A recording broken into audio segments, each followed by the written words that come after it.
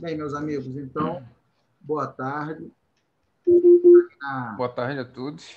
Na, na, última, na última palestra né, da Semana da Pesquisa Operacional, essa foi uma ideia do Tiago, né? O Tiago sempre vem com essas ideias malucas. E, aí... e, o, e o, o, professor Marcos sempre embarca na minha maluquice. Outro cara que é assim, o Rademacher. O Rademacher vem com umas ideias malucas. Ah, é, eu... Opa, gostei, vamos fazer. Aí conta outro maluco pelo caminho, né, cara? Não, Inclusive, fazer. foi por conta do comandante Rademacher que eu conheci o professor Marcos Santos né, na palestra lá na, no Casnave, né? Bem legal, show de bola. Aí, então, aí o, o Tiago veio com essa ideia maluca, né? Vamos fazer uma semana da PO. Eu falei, adorei, vamos, eu, eu banco, vamos fazer. e aí, né? E aí foi um projeto muito, muito bacana, muito feliz. Todos os encontros foram muito agradáveis. Eu tenho certeza que agregou para muita gente que não, não conhecia a PO, né? E passou a ter o primeiro contato. Então, foi uma experiência assim, muito bacana e eu já estou planejando a segunda semana da pesquisa operacional. Que, se tudo der certo, Boa. deve ser em janeiro. Né? O professor Éder Cacetari já está até convidado, né? vai falar sobre as aplicações da PO né, as possíveis Boa. E também o professor Euclides também, né? Já está aí, já fez um artigo em marketing, né? Massa, também vai participar lá. Ô, louco, rapaz. O cara assistiu a palestra anteontem e já usou agora no marketing. É, né? Pô. Que loucura, né? Bem, então, assim, está sendo uma experiência muito, muito bacana, muito feliz. Eu agradeço o engajamento do pessoal. E é o que eu sempre falo, né? É, esse projeto ele existe para vocês, né?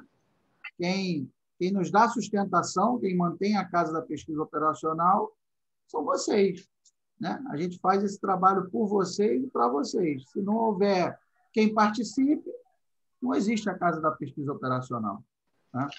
Então, e é o que o Tiago sempre fala, e é verdade, eu acredito nesse projeto como um ecossistema de conhecimento, onde um ajuda o outro. Né?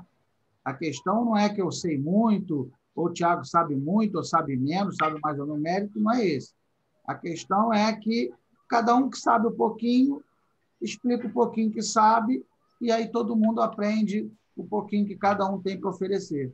Né? E aí todo mundo cresce junto. Então a ideia é essa: ninguém sabe mais do que ninguém, ninguém é melhor do que ninguém. Né? É uma ideia realmente totalmente. Não, e o que a gente notou nessa semana foi uma interação bastante grande né, dos participantes, o pessoal se envolveu, né? Acho que foi muito legal, o pessoal perguntando, depois veio conversar com a gente depois aqui das lives. Né? Sim, então, é. acho que houve uma comoção aí muito legal em relação à PO, né? E acho que muita gente já, já conhecia até alguns métodos né, da pesquisa operacional, mas não sabia que conhecia, né? É. Então, eu mesmo, né, quando eu é, de, eu, quando eu tive aula na ENSE, né? Escola Nacional de Ciências Estatísticas, quando eu fiz meu bacharelado em estatística lá, eu aprendi só simplex, né? E aí eu, agora eu, eu, fico reforçando, né? Mando um hashtag não é só simplex, né? Porque eu conversei com o professor Marcos Santos, né? Eu fiz uma disciplina lá no mestrado de engenharia de transportes, lá no IME, né? E aí ele me falou, né, que tinha tudo isso, programação inteira, né? tinha é, redes neurais, né? Você tem uma função objetiva ali, né? Que você quer maximizar, toda modelagem, né? Também tem, tem, tem todo todo método de PO, né? Tem ali a, a máxima verossimilhança, tudo isso você você são funções objetivas que você tem que maximizar, né? Então entra tu, tudo nessa linha de PO, simulação, enfim, todo guarda-chuva, né? Que o professor Marcos Santos gosta de fazer, né? E eu sempre peço para ele fazer, né? Porque tem realmente né, um, um, é um mundo, né, é um mundo, assim como estatística também é um mundo. Então, é, eu acho que teve uma riqueza bastante grande nesse sentido, né, do pessoal conhecer mais dos métodos e ver que não, não é algo do outro mundo, né? Você pega ali, pô, o, o, ontem, no outro dia o Cláudio fez aqui o do, do mochila, né? E fez aplicações ali, né, super super simples. Ele utilizou, inclusive, lá para escolher o orçamento lá na, o professor no, no projeto dele. Professor é, o professor Euclides fez agora para marketing, né? É. Fez o, o algoritmo simplex lá para otimizar os anúncios de marketing, né? Então, você vê que dá para utilizar em diversas escolhas. O, o mestre Antônio fez para escolher o celular, né? O celular dele, né? Com a esposa dele, enfim. Então, você consegue utilizar tanto em qualquer coisa, né? É só você ter um pouquinho de noção, né? E ter uma ferramenta que permite você utilizar, né? E aí pode ser um software livre, né? Pode ser um software que você criou, né? Por exemplo, lá no Instituto Militar de Engenharia são criados diversos softwares, né? A gente tem, tem lá no Lab Lego, né? Que é o laboratório lá do, do professor Marcos Santos de, lá do IME. Tem lá o Miguel criou o Prometer, né? E o, o, o, professor Fabrício Maione criou o, o Thor, né? E, e assim por diante, né? Então eles criaram softwares dedicados para resolver os métodos e coisas point click, né? Que você resolve ali sem ter, ah, sem ter muito, um tipo muito trabalho, né? É. E te apoia a tomar decisão ali facilmente, né? Então é, é realmente algo que traz muito valor, né? E a ideia da, da casa, né? Como eu eu, eu, eu falei para o professor Marcos Santos, pô, vamos. A gente estava fazendo cursos separados, né? A gente fazia treinamentos e tal. Pô, vamos fazer um, um lugar onde a gente tem o quê? A gente consiga colocar esses treinamentos, né? A gente fa continua, fa continua fazendo esse treinamento online, né? Ao vivo, mas ao mesmo tempo fica gravado, fica lá dentro da plataforma para ser revisitado esse conteúdo, porque a gente sabe que às vezes é muita informação no momento, então tem que ir lá e revisitar aquele conteúdo, né? Não só isso, como também gerar o network. Às vezes você está ali no, no ao vivo, você não tem muito tempo para conversar com as pessoas. Então, tem um grupo dedicado ali para as pessoas trocarem conhecimentos, se conhecerem, descobrirem coisas em comum, fazerem grupo de pesquisa, seguir junto. Eu acho que isso funciona muito bem, né? E não só isso, a gente consegue também fechar parceria. Hoje mesmo a gente fechou parceria com a Stones, de vagas exclusivas deles vão mandar para a gente, né? A gente também eventualmente vai treinar os funcionários deles, então é, é, muito legal isso, entre outras empresas também que fecham com a gente, né, de mandar vaga exclusiva, né? E a gente está sempre colocando aí né, para vocês. Não só isso, né? A gente também chama profissionais aí quali super qualificados aí como mestre Éder, né? Para poder trazer conhecimento de qualidade para vocês, né? E, e, isso frequentemente, né? O que, pô, é... e de forma até é gratuita também, né? Então a gente realmente tenta incentivar, né? Tem o lado de, de claro, quando vocês ficam lá dentro da plataforma, vocês têm que tirar as dúvidas, né? Então tem uma mentoria, tem um, uma, um tempo que a gente vai se dedicar para isso. A gente tem que subir os vídeos, tem que manter todo o site, tem que manter tudo isso. Então a gente tem que é, também onerar de alguma forma, né? Mas é, é um valor simbólico, né? Como o professor Marcos Santos fala, né? e a gente vai evoluindo ao longo do tempo, tá? Então, é, eu queria que vocês se sentissem em casa, né? Que a ideia da casa é essa, né? Fazer um local onde o pessoal se sinta em casa, né? A ideia é aprender junto, né? Então, sinta-se à vontade para perguntar, falar o que vier na cabeça, né? Se não tiver nada a ver com o assunto, pô, pode falar também, a gente, a gente releva, né? A gente ri, né? O mais Enfim, importante. A ideia é essa, né? O mais importante que eu acho que é assim, independente se o assunto é fácil, é difícil, é mais ou menos, o mais importante é aguçar a percepção de todo mundo de que esses métodos funcionam. Esses métodos eles são aplicáveis no mundo real, né? Eles podem ser aplicados. Prova empírica disso são os artigos que o professor aprova internacionalmente com é. os alunos e nacionalmente também, nos maiores congressos. Aí. Esses modelos matemáticos, eles resolvem problemas reais. Né? E o que eu sempre falo não é só de multinacional, não. É de organização de qualquer tamanho, pequena, média ou grande, né? é porte. Então, é, é essa... O mestre Marcos, Oi, o Messi Marques, por exemplo, comentou numa das, das lives lá que ele viu já é, decisões de bilhões de reais sendo tomadas sem ferramenta nenhuma. Exatamente. Mestre, eu cansei de ver na minha vida profissional é, decisões de milhões de dólares sendo tomadas sem, sem nenhum tipo de, de ferramenta. E aproveitando o gancho aí do, do mestre Tiago também, mestre Tiago, programação linear é tão pouco importante que tem áreas do tipo logística que elas não existiriam sem, sem pesquisa operacional.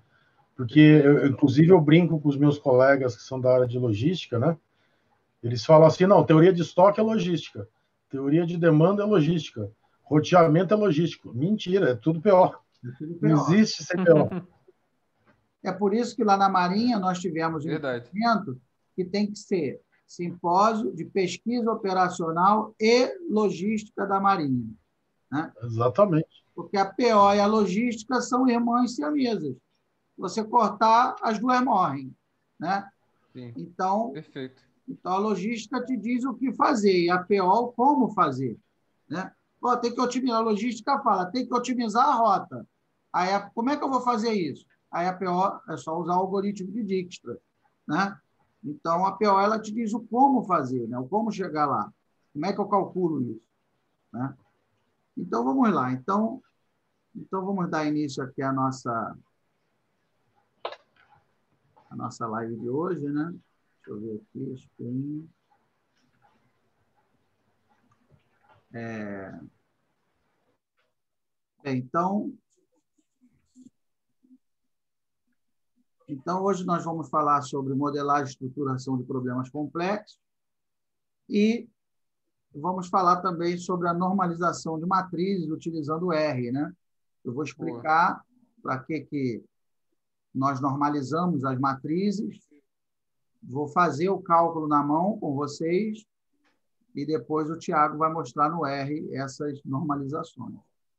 Pô, já vi que demandou o serviço aí do mestre Miguel, hein? Essas engrenagens girando aí, tem, tem o dedo do Miguel aí. e slides então, cinematográficos. Então, é, é, já tem o QR Code aí disponível. Quem quiser baixar essa, essa apresentação, é só virar aí com o celular, né, abrir a câmera, que automaticamente vai, vai baixar o PDF com essa, com essa apresentação. Tá? Já não precisa nem pedir, nem já, já disponibilizei para vocês. Bem, é, é aí é um pouco da minha, da minha trajetória, né? alguns já me conhecem, mas nem todos. Né? Eu fiz a minha vivência na PO eu fiz o, o mestrado em pesquisa operacional na COP, o FRJ, fiz o doutorado em sistemas apoio à decisão e logística na Universidade Federal Fluminense e agora estou terminando meu segundo pós-doutorado em ciências e tecnologias espaciais lá em São José dos Campos, né, no, no Instituto Tecnológico da Aeronáutica. Então essa é a minha a minha vivência com a PO. Já vivo há muitos anos é, no métier da Sociedade Brasileira de é. Operacional, e aí, por conta disso, faço parte da diretoria é, da Sobrap. Né? E no IME, eu dou aula na graduação e na pós-graduação. Né? Eu dou aula na graduação, da, dou aula de matemática avançada do curso de engenharia da computação e dou aula no, no mestrado da, na, de sistemas de computação e também no mestrado lá em engenharia de transporte, que foi aonde o Tiago foi meu, meu aluno lá na, na disciplina que eu dei lá na, na engenharia de transporte. É, bem, e aí, é, então, nossa proposta, né, como nós estávamos conversando, é oferecer um, é, um ecossistema né, onde a gente possa trocar conhecimento, fazer networking, né? Então, eu pensei, poxa, a gente precisa de um meio né, para operacionalizar isso. Então, quem, quem for membro né, da, da Casa da Pesquisa Operacional e quiser saber quais são os cursos, onde está o material, quem são os parceiros, né? aonde que a pessoa vai ver isso? Então, aí nós fizemos um site, site da Casa da Pesquisa Operacional. Deixa eu ver se eu consigo mandar aqui, peraí. É, deixa eu ver aqui. Chat. Ele, Daqui, ó. W. Para quem não Você conhece. quer mandar o quê? O site da. É, é manda para o pessoal aí. www, Casa da Pesquisa Operacional. É, então, esse é o esse é o nosso site. Lá, tudo que está rolando com relação à Casa da Pesquisa Operacional está lá nesse site. Né? Então, tem lá os cursos, por exemplo, o curso que vai começar no sábado que vem, está lá descrito lá na, no menu lá cursos. As lives que ocorrem toda terça-feira, está lá em lives. Né? Aqui em parceiros estão é, é, as organizações, né, as outras comunidades, é, que dão desconto para quem é da, quem faz parte da Casa da Pesquisa Operacional. Né? E aí fale conosco, papapá, semana da PO, as palestras né, que aconteceram essa semana, e por aí vai. Então, lá nesse site, vocês vão encontrar tudo isso. Está né? Tá tudo concentrado lá. É... Bem, aí, aqui são alguns parceiros que nós temos, né? Então, tem lá o mestre Labaldini, que no Brasil aí é uma referência no Excel, né? Então, estabelecemos lá uma parceria. Quem for membro da CPO tem desconto lá nos cursos do Instituto X, né? Instituto X, lá do Baldini. Então, é, tem um bom desconto. Quem for da, da CPO, é só colocar o voucher lá que recebe o desconto. E aí conseguimos uma parceria também com, a, com o Grupo GEM. Quem for membro da Casa da Pesquisa Operacional é, consegue 30% de desconto em, em todos os é, livros da área de exata do Grupo GEM. Né? Então, ó, só esse livro aí do Fávero, vê, 300 pratas, 30%, é 90 reais de desconto. Né? Então, o livro de 300 reais cai, cai para 200 quase. É, e conseguimos estabelecer também uma parceria lá com a Montivero, de 30% de desconto, em qualquer curso lá da Montivero que não tenha o Stata. Né? Então, se vocês pensarem lá que tem curso que custa R$ mil reais, por exemplo, né? então 30%, R$ mil reais, 600 reais de desconto. Né? Então, é um bom desconto também. Então, conseguimos aí essas, essas parcerias né, para os nossos membros. E aí, para quem não para quem não sabe, nós, todas essas palestras que nós estamos fazendo, nós estamos colocando lá no, no YouTube. Tá? Então, manda aí o, o Tiago, está aí na área? Manda esse link aí do, do, do, do canal do YouTube para o pessoal, pessoal poder, pessoal poder ver. Então, nós temos aí o. Deixa eu ver aqui se eu consigo. Deixa eu compartilhar aqui só o PowerPoint. Espera aí, Jean. Jean está pedindo para entrar. Ah. É, deixa eu fazer o seguinte aqui. Eu vou botar aqui. Ah, mandou aí o YouTube? Ah, beleza. Obrigado, Rafael. É... Deixa eu achar aqui a minha. Olha o Cláudio chegando na área.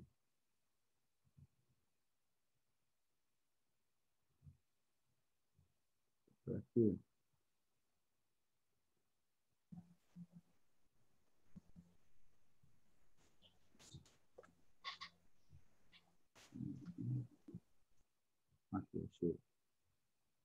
Então tem aí o nosso o nosso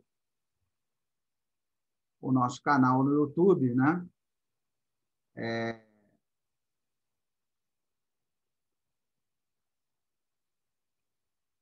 O nosso canal no YouTube, onde nós estamos disponibilizando é, todos esses vídeos, essas palestras, estamos colocando tudo lá e as lives semanais também estão lá na, é, no canal do YouTube da Casa da Pesquisa Operacional. Tá? Essa aí é o. Esse aí foi a nossa segunda turma, né? Que ocorreu no mês, no mês retrasado. Mês passado não tivemos, é mês sim, mês não, né? Que a gente faz uma turma, faz um curso, um curso novo. Então, mês passado não tivemos, mês, mês retrasado foi a segunda turma. Então, foi uma turma bastante animada, né? foi muito legal, turma cheia. Então, foi uma experiência bastante gratificante. Nós vimos teoria dos grafos, né? que é um assunto amplamente utilizado em logística, em computação, em diversas áreas de, de, da, é, de modelagem matemática. Então, foi, foi uma experiência bem bacana, foi um sucesso a, a turma, a segunda turma, né? Eu tenho certeza que essa terceira também será. É... E aí, é, nós temos aí a nossa, a nossa comunidade no Instagram também, onde nós tivemos aí as duas lives dessa semana, né? Então, quem puder mandar aí, Cláudio, manda aí, o, por favor, o, o, o link aí da, do Instagram da Casa da Pesquisa Operacional, quem quiser conhecer, é, pode dar uma olhadinha lá. Nós estamos sempre utilizando né, como veículo para informar os cursos, as lives. Né? Então, então, vocês percebam que realmente é um ecossistema. Né? Você só não aprende se não quiser, porque tem conteúdo, é, tem gente qualificada colaborando, né? Então, é, quer dizer, é só entrar e aproveitar. O que eu sempre falo, a PO é para todo mundo. E tem que ser, né? Pesquisa operacional é para todo mundo. É para o biólogo, é para o estatístico, é para o nutricionista, né? é para o professor de português, para todo mundo. PO é para todo mundo. Né? Não tem essa que é para matemático, que é, não é isso. Você tem que decidir? Você tem que decidir na sua vida, você pode usar PO. Tá? É, e hoje, então, estamos abrindo aí a, a terceira turma. Então, esse é o, é, esse é o link. Tiago, se estiver aí na área, manda para o pessoal aí no chat o link da, da, da terceira turma está abrindo agora. Né? Vocês podem acessar por esse QR Code também, é só abrir a câmera do celular, que automaticamente já vai lá para o site da, da nossa comunidade. É, e aí, essa, essa, a comunidade, então, essa lista né, essa, vai ficar aberta. Na verdade, nós já temos uma lista de espera, e aí esse período de inscrição vai ficar aberto durante uma semana apenas. Então, começa hoje, vai até sexta-feira que vem, e aí depois vamos fechar novamente, e aí vai ficar fechada por dois meses. Né? Só daqui a dois meses que voltará a abrir. Para a gente poder preparar um novo material, um novo curso, né? atender a demanda dos alunos etc. Então, não dá para não dá para ser fluxo contínuo porque a gente não dá conta. Né? É, então, dá um intervalo de dois meses. Daqui a dois meses, nós vamos deixar passar em novembro, dezembro. Quando for em janeiro, a gente abre a quarta turma. Né? É, então, a, a, as inscrições abrem hoje, 30 de outubro, vai ficar aberto até o dia 6 de novembro. No dia 6 de novembro, eu e o Tiago vamos fechar e aí, no dia 7, no sábado, que sem ser amanhã da semana que vem, começa o nosso, o nosso curso né, da quarta da quarta turma, da terceira turma. Tá? Então, se alguém tiver alguma dúvida, pode aproveitar até durante a nossa live agora para ir perguntando. Né? A gente já está aqui, aproveita e vai conversando. Né? Se tiverem qualquer dúvida, é só falar que a gente, que a gente tira. Professor, quem faz parte da comunidade é, é só se inscrever, certo? Não, quem faz parte é, já, já tem acesso direto ao curso. Precisa nem, entendeu? Só se inscrever lá e entrar. Já faz parte, beleza. Você vai ter acesso, como você já faz parte, você vai ter acesso a todos os cursos que forem oferecidos. Entendeu? É isso. Obrigado. Né? É... Bem, então começa sábado que vem. Então vamos lá. Então vamos começar a falar da pesquisa operacional propriamente dita. Né? O que é a PO? Como, como ela está relacionada com o processo de tomada de decisão? Então, alguns já tiveram né, parte introdutória comigo, mas eu acredito que nem todos. Então, vamos bater um papo sobre o que, que é a PO, né? como é que ela está relacionada com o processo de tomada de decisão. É... Deixa eu botar aqui minha canetinha. Peraí.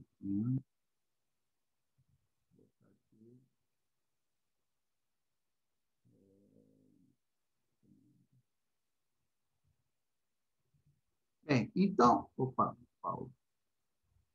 É, então é o seguinte. É, então, a PO, toda vez que eu utilizo modelos matemáticos, modelos matemáticos, modelos matemáticos, para apoiar a tomada de decisão, apoiar a tomada de decisão, nós estamos falando de pesquisa operacional. Né? Então, nós temos aqui a pesquisa operacional.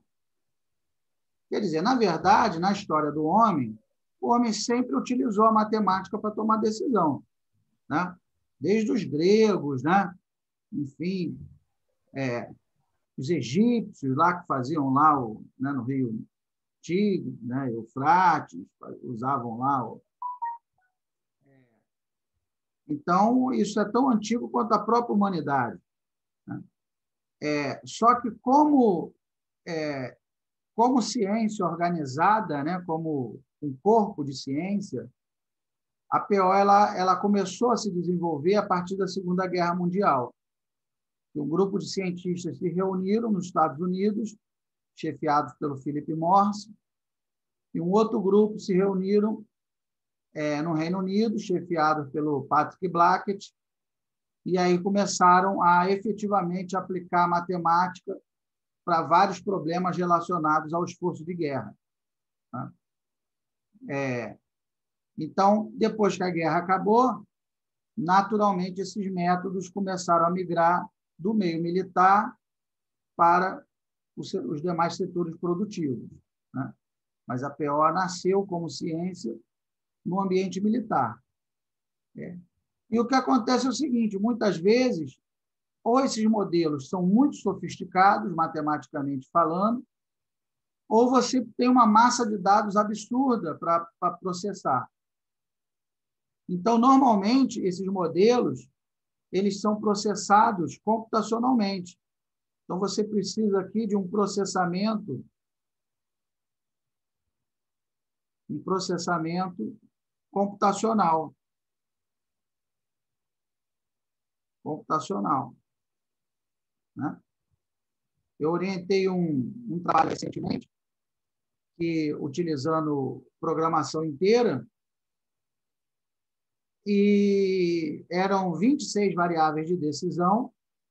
Né? Eram 26 variáveis de decisão e foram necessárias, o método simplex teve que, é, foram necessárias 1 milhão e 400 mil iterações do método simplex. Então, então imagina, seria totalmente impraticável tentar fazer na mão, ou, né? necessariamente a gente precisa do apoio da computação para poder dar conta desses cálculos. Né? Não tem como fazer um milhão de iterações do método simplex na mão. Né? Então, a PO é isso, minha gente. Então, toda vez que eu falo de modelo matemático, normalmente eles vêm junto com computação, matemática com computação para apoiar a decisão, então nós estamos falando de PO. Né? Então, é isso. Matemática, computação para apoiar a decisão.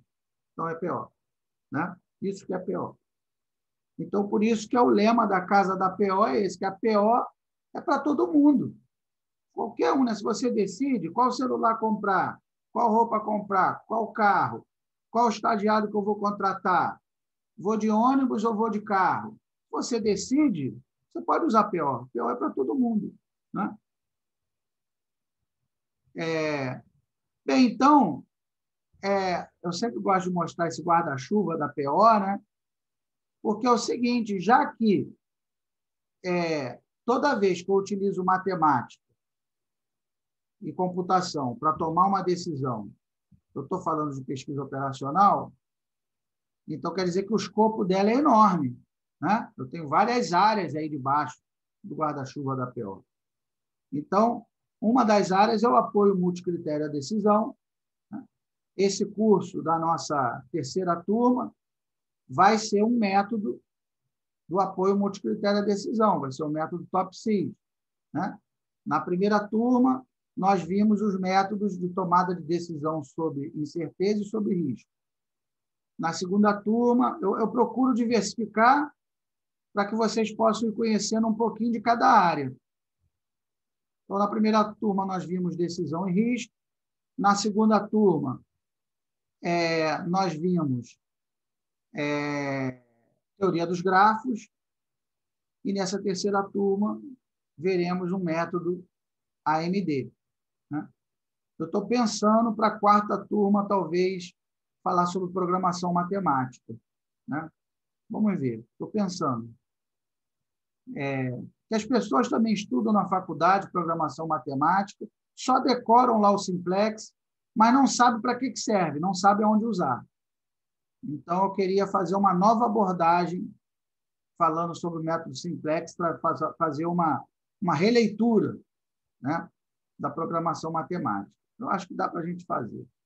Vamos ver. É, então, nós temos lá, debaixo desse guarda-chuva, o apoio multicritério, teoria dos grafos, que nós já vimos né, na turma passada, simulação a eventos discretos, que é um curso que eu posso fazer também, posso oferecer para vocês, teoria das filas, teoria dos jogos, estatística, programação matemática, que é isso que eu estou pensando em fazer para a quarta turma, né? E por aí vai, né? E aqui também análise voltória de dados, né, DEA. É, e esses que eu coloquei aqui como exemplo não esgotam o assunto, não. Tem mais, tem mais coisa debaixo desse guarda-chuva. Né? Eu só coloquei aqui alguns, alguns exemplos. Né? Posso pegar lá redes neurais, cadeia de Markov, está tudo aí debaixo desse guarda-chuva. Eu só peguei alguns, alguns exemplos. Né? É... Bem, e aí é o que eu falei, né? Como normalmente é, é, eu tenho uma massa de dados muito grande, ou os algoritmos são trabalhosos, né? Então, normalmente, eu preciso, em algum momento, utilizar um processamento computacional para resolver isso. E é aí que entra o R, entra o Python, entra o Excel, né? É por isso que é importante a gente dominar pelo menos uma dessas ferramentas para a gente poder trabalhar com esses modelos. Né?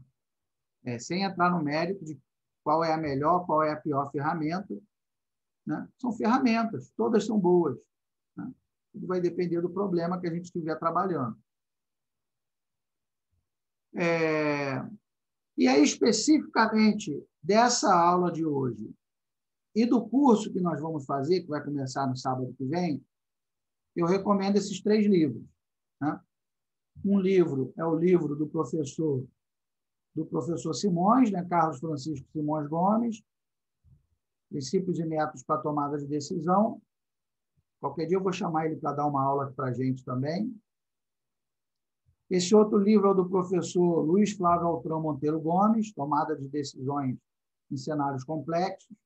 Foi o primeiro livro que eu comecei a estudar o assunto, porque a gente não acha muita coisa em português sobre o assunto.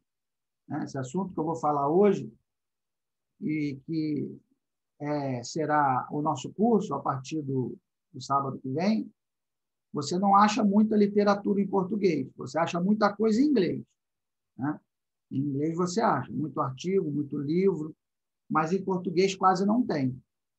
Então, assim, os três principais que eu conheço, pode até ser que tenha mais. Né? Não é porque eu não conheço que não existe, não é isso. Então, os três principais que eu conheço são esses três. Né? O livro do professor Simões, do professor Altran e o livro do professor Adiel, lá da Universidade Federal. Oh. Né? Começou o jogo, cara! Opa! Espera um pouco. É... Bem, então, processo de decisão nas organizações. Então, esses três vale a pena vocês procurarem e né, tem lá o, o, esse livro do professor Simões na Amazon você encontra por 95 reais, R$ reais. E, como eu falei, quem faz parte é, é do, do grupo GEM. Quem faz parte da Casa da Pesquisa Operacional tem 30% de desconto. Então, ao invés de pagar 100 reais, você vai pagar 70. Né? É... Muito bem. Então, aí, o, o Einstein, uma vez, né, entrando agora na questão da tomada de decisão em cenários complexos, né, o Einstein, uma vez, ele foi perguntado se ele tivesse uma hora para salvar o mundo, como é que ele gastaria essa uma hora? E aí ele falou: bem, eu gastaria 55 minutos definindo o problema para então resolvê-lo em cinco minutos. Então, eu penso que a questão é justamente essa. A gente precisa concentrar toda a nossa energia, né? concentrar o nosso esforço em entender o problema. Porque a partir do momento que a gente entende o problema, a matemática é a parte mais fácil. Né? Os algoritmos já existem aí há anos, os softwares também estão disponíveis. O problema é entender o problema e modelar esse problema, porque você só vai modelar o problema corretamente se você tiver entendido o problema. Né? Então, a grande questão que eu vejo nas organizações é que as pessoas querem, esperam resolver um problema sem ter entendido o problema. Né? Então, fala assim, ah, eu preciso de equipamento novo. Ah, problema, sei lá, problema da educação no Brasil é que falta professor. Será que falta professor? Né? Será que a gente não precisa pensar esse problema de uma maneira mais profunda, mais consistente? Né? Na verdade, não é que só falta professor. Falta infraestrutura para trabalhar, a remuneração não é adequada. Né? Então, tem uma série de outras questões que permeiam é, essa problemática. É, então, como os gestores não entendem corretamente o problema, muitas vezes gastam milhões, como o professor Ed acabou de falar, milhões de dólares na tentativa de achar uma solução e essa solução não vem.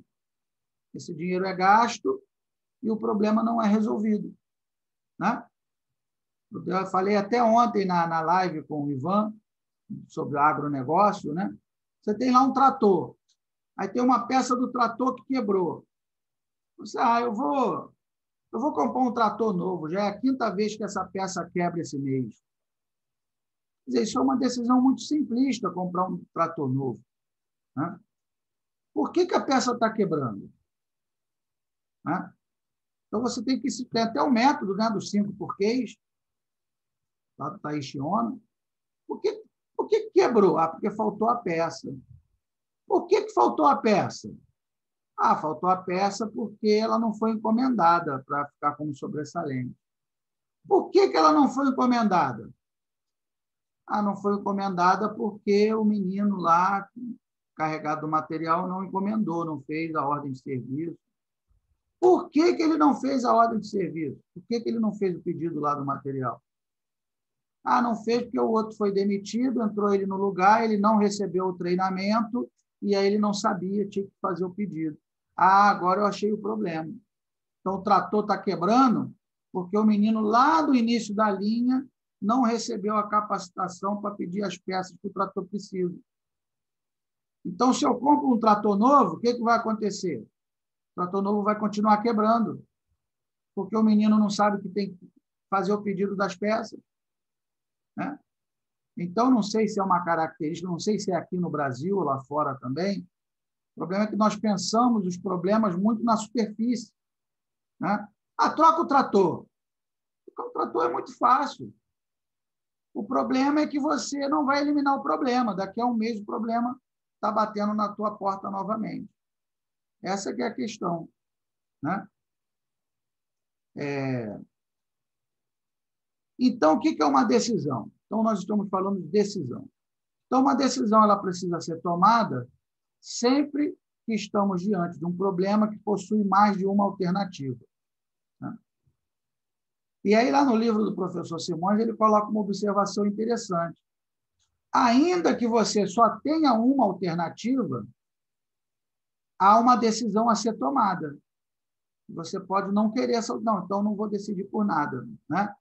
Ele fala aqui, ó, possuímos uma única, ó, mesmo quando para solucionar um problema possuímos uma única ação, temos as alternativas de tomar ou não essa ação. Então, até quando eu só tenho uma alternativa, eu tenho que tomar uma decisão. É se eu vou adotar essa ação ou não vou. Né? Normalmente acontece quando a gente vai assistir o Netflix. Né? Eu fico 40 minutos lá zapeando lá atrás, acaba que eu desisto, vou dormir e não vejo nada. Né? É, então, o processo de decisão requer a existência de um conjunto de alternativas factíveis para sua composição, em que cada decisão tem associados um ganho e uma perda. É aí que nós começamos a falar né, nos cenários complexos, porque não dá para você levar tudo. Você quer comprar um carro novo. É, e aí você tem que me dizer qual é a. Aí você fala, bem, para mim o importante é o custo. Ok. Então, quanto mais barato for o carro, melhor. Aí você me fala também que você quer um carro confortável. Aí o problema já começou a ficar complexo. Porque quanto mais barato for o carro, menos confortável ele tende a ser. Né?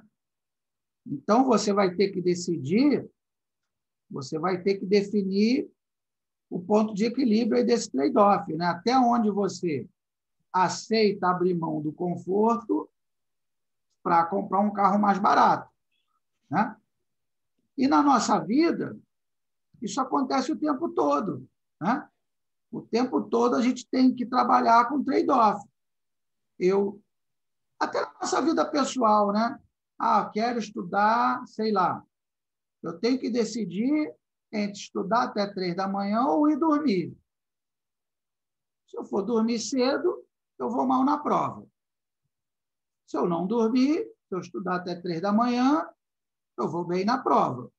Então, o que, que eu quero? Eu quero descansar ou eu quero ir bem na prova? Ou eu posso achar um meio termo? Ir dormir meia-noite, estudar um pouquinho, ir dormir meia-noite e ir mais ou menos na prova. Né? Então, a nossa vida, as nossas escolhas, a gente trabalha com trade-off a vida inteira. Né? É, não tem jeito. Ah, vou comprar uma casa. Se eu comprar uma casa mais afastada do centro, eu posso comprar uma casa maior, mais confortável.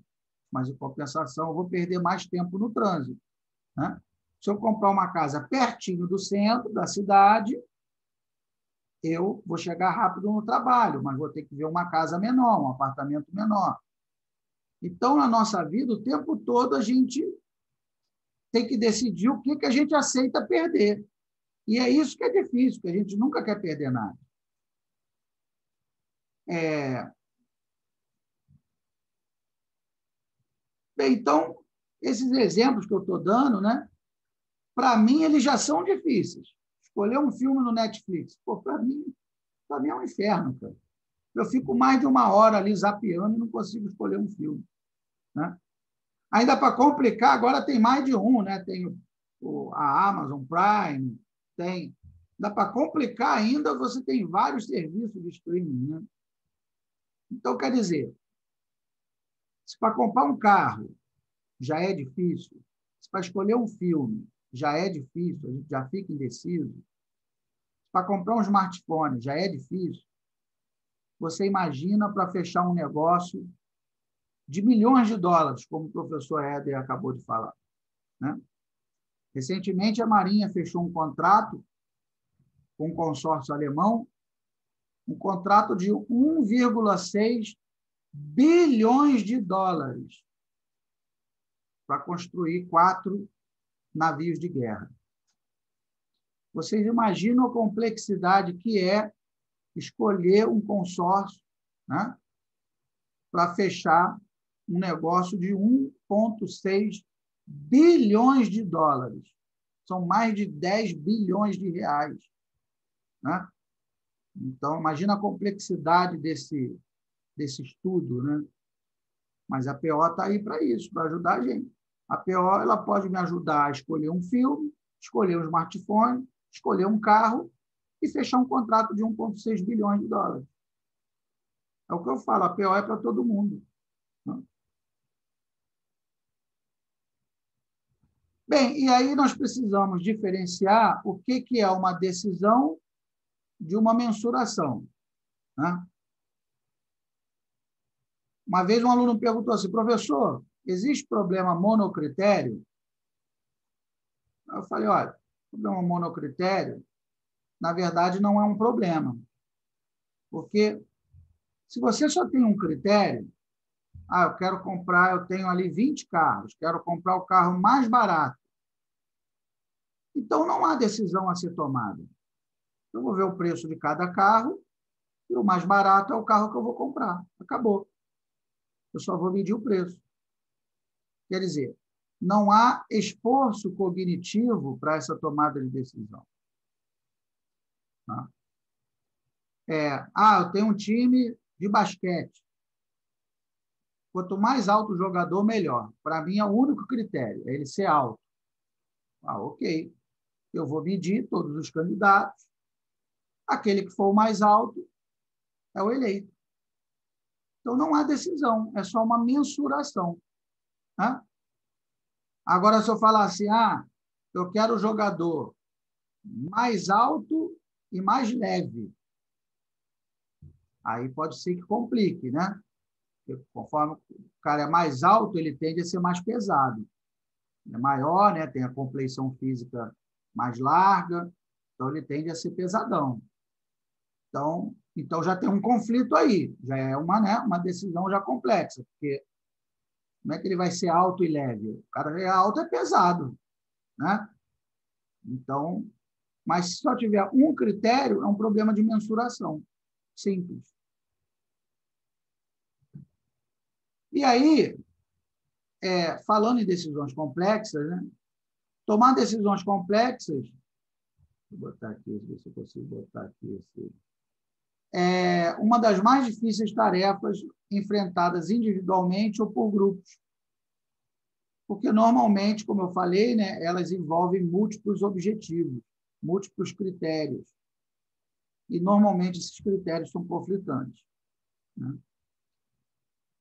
As decisões elas precisam ser tomadas cada vez mais rápidas no mundo globalizado em contextos cada vez mais complexos.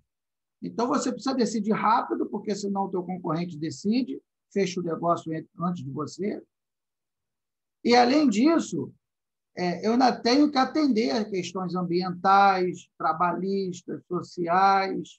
Né? Então, quer dizer, é cada vez está cada vez mais difícil decidir. Então, não posso, nós não podemos nos dar o luxo de decidir na orelhada, de decidir, ah, eu acho que vai dar certo. Se você achar errado, isso pode custar a vida da sua organização. Né? Perder aquele negócio de alguns milhões de dólares e a sua organização capitular. Né? Então, não há mais espaço para achar. Você tem que aplicar o um método e ver qual é a melhor decisão a ser tomada. Ponto. Algumas decisões são feitas por parâmetros não mensuráveis quantitativamente, porém podem ser medidos de maneira qualitativa. Então, a mesma coisa, eu vou comprar um carro, eu posso avaliar o critério design, o carro que eu acho mais bonito para mim.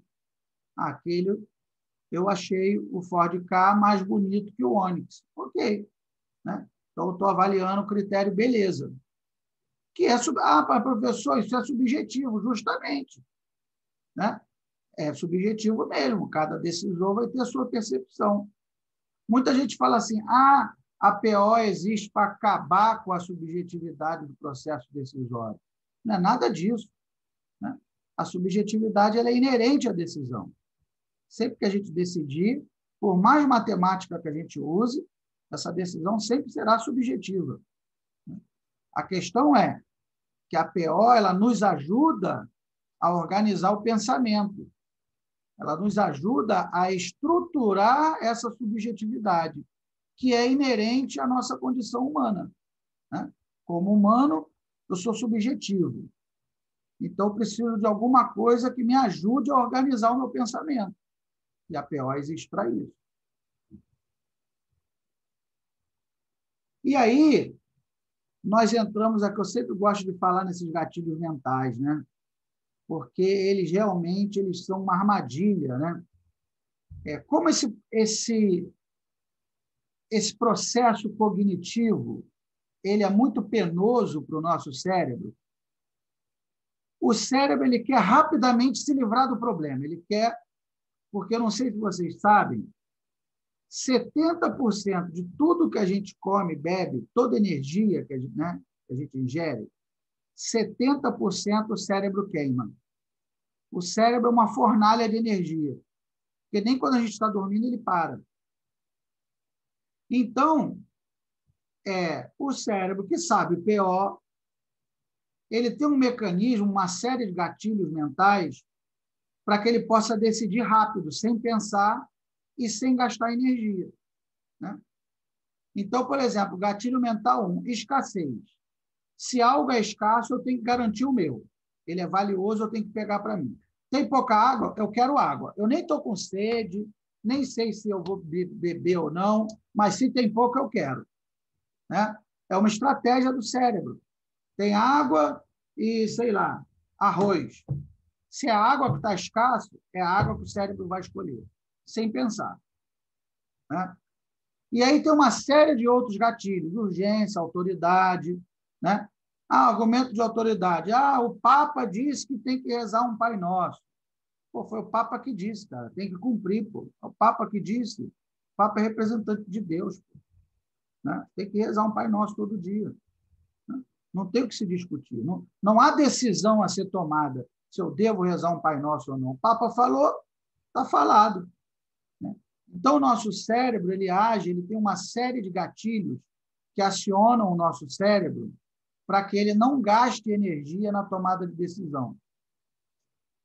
O problema é que muitas vezes o nosso cérebro ele associa que uma decisão a ser tomada ela é simples, no entanto, ela é complexa. E aí a gente toma uma decisão ruim. Né? Então, acontece muito isso. Às vezes você tem que decidir uma coisa ali, você decide meio né, em cima da perna, ah, faz isso, pensando que seria um problema simples, que não teria maiores consequências, e acaba que o problema era super complexo, causa um aborrecimento terrível, né? porque, na verdade, você foi ludibriado pelo seu cérebro por esse fenômeno chamado fast thinking. Então, quer ver um exemplo? Olha só. Ó, responda rápido, você. Vamos lá, hein? Vou dar três segundos. Quantos animais de cada espécie Noé. Eu mesmo estraguei a brincadeira. Quantos animais de cada espécie Moisés colocou na arca? Aí depois, outra pergunta. Ó. É, deem só uma olhada. Se um bastão de beisebol mais uma bola custam juntos 1,10, e o bastão custou um real a mais que a bola, qual é o preço da bola? São duas perguntas, né? Quantos, quantos animais Moisés colocou na arca? E um bastão mais uma bola custam 1,10 e o bastão custa um real, um real a mais que a bola. Quanto custa a bola? Né? Então, ó, você respondeu dois na primeira pergunta e 10 centavos na segunda. Dois animais na primeira, né? E 10 na segunda. Esse é o seu cérebro buscando decisões rápidas, chamadas de fast thinking, ou pensamento rápido. Em busca de atalhos para encontrar uma solução o mais depressa possível para o que você precisa. Ou seja, quando o cérebro ele é encurralado, quando ele tem que tomar uma decisão, ele quer se livrar o mais rápido possível dessa decisão. Ele não quer ficar ali acuado, tendo que decidir. Então, ele embrulha e manda. Né? Então, ó, quantos animais de cada espécie Moisés colocou na arca? Nenhum. Não foi Moisés, mas sim Noé que colocou os animais na arca. Se um bastão de beisebol mais uma bola custam junto 1,10 e o bastão custou um real a mais do que a bola, qual é o preço da bola? Cinco centavos e não dez. E se o bastão custa um a mais, então é porque isso aqui é um probleminha simples que a gente aprende no, no, no ensino fundamental, né? Eu quero saber, eu quero saber o preço, eu não sei, né? O bastão, eu posso dizer que o bastão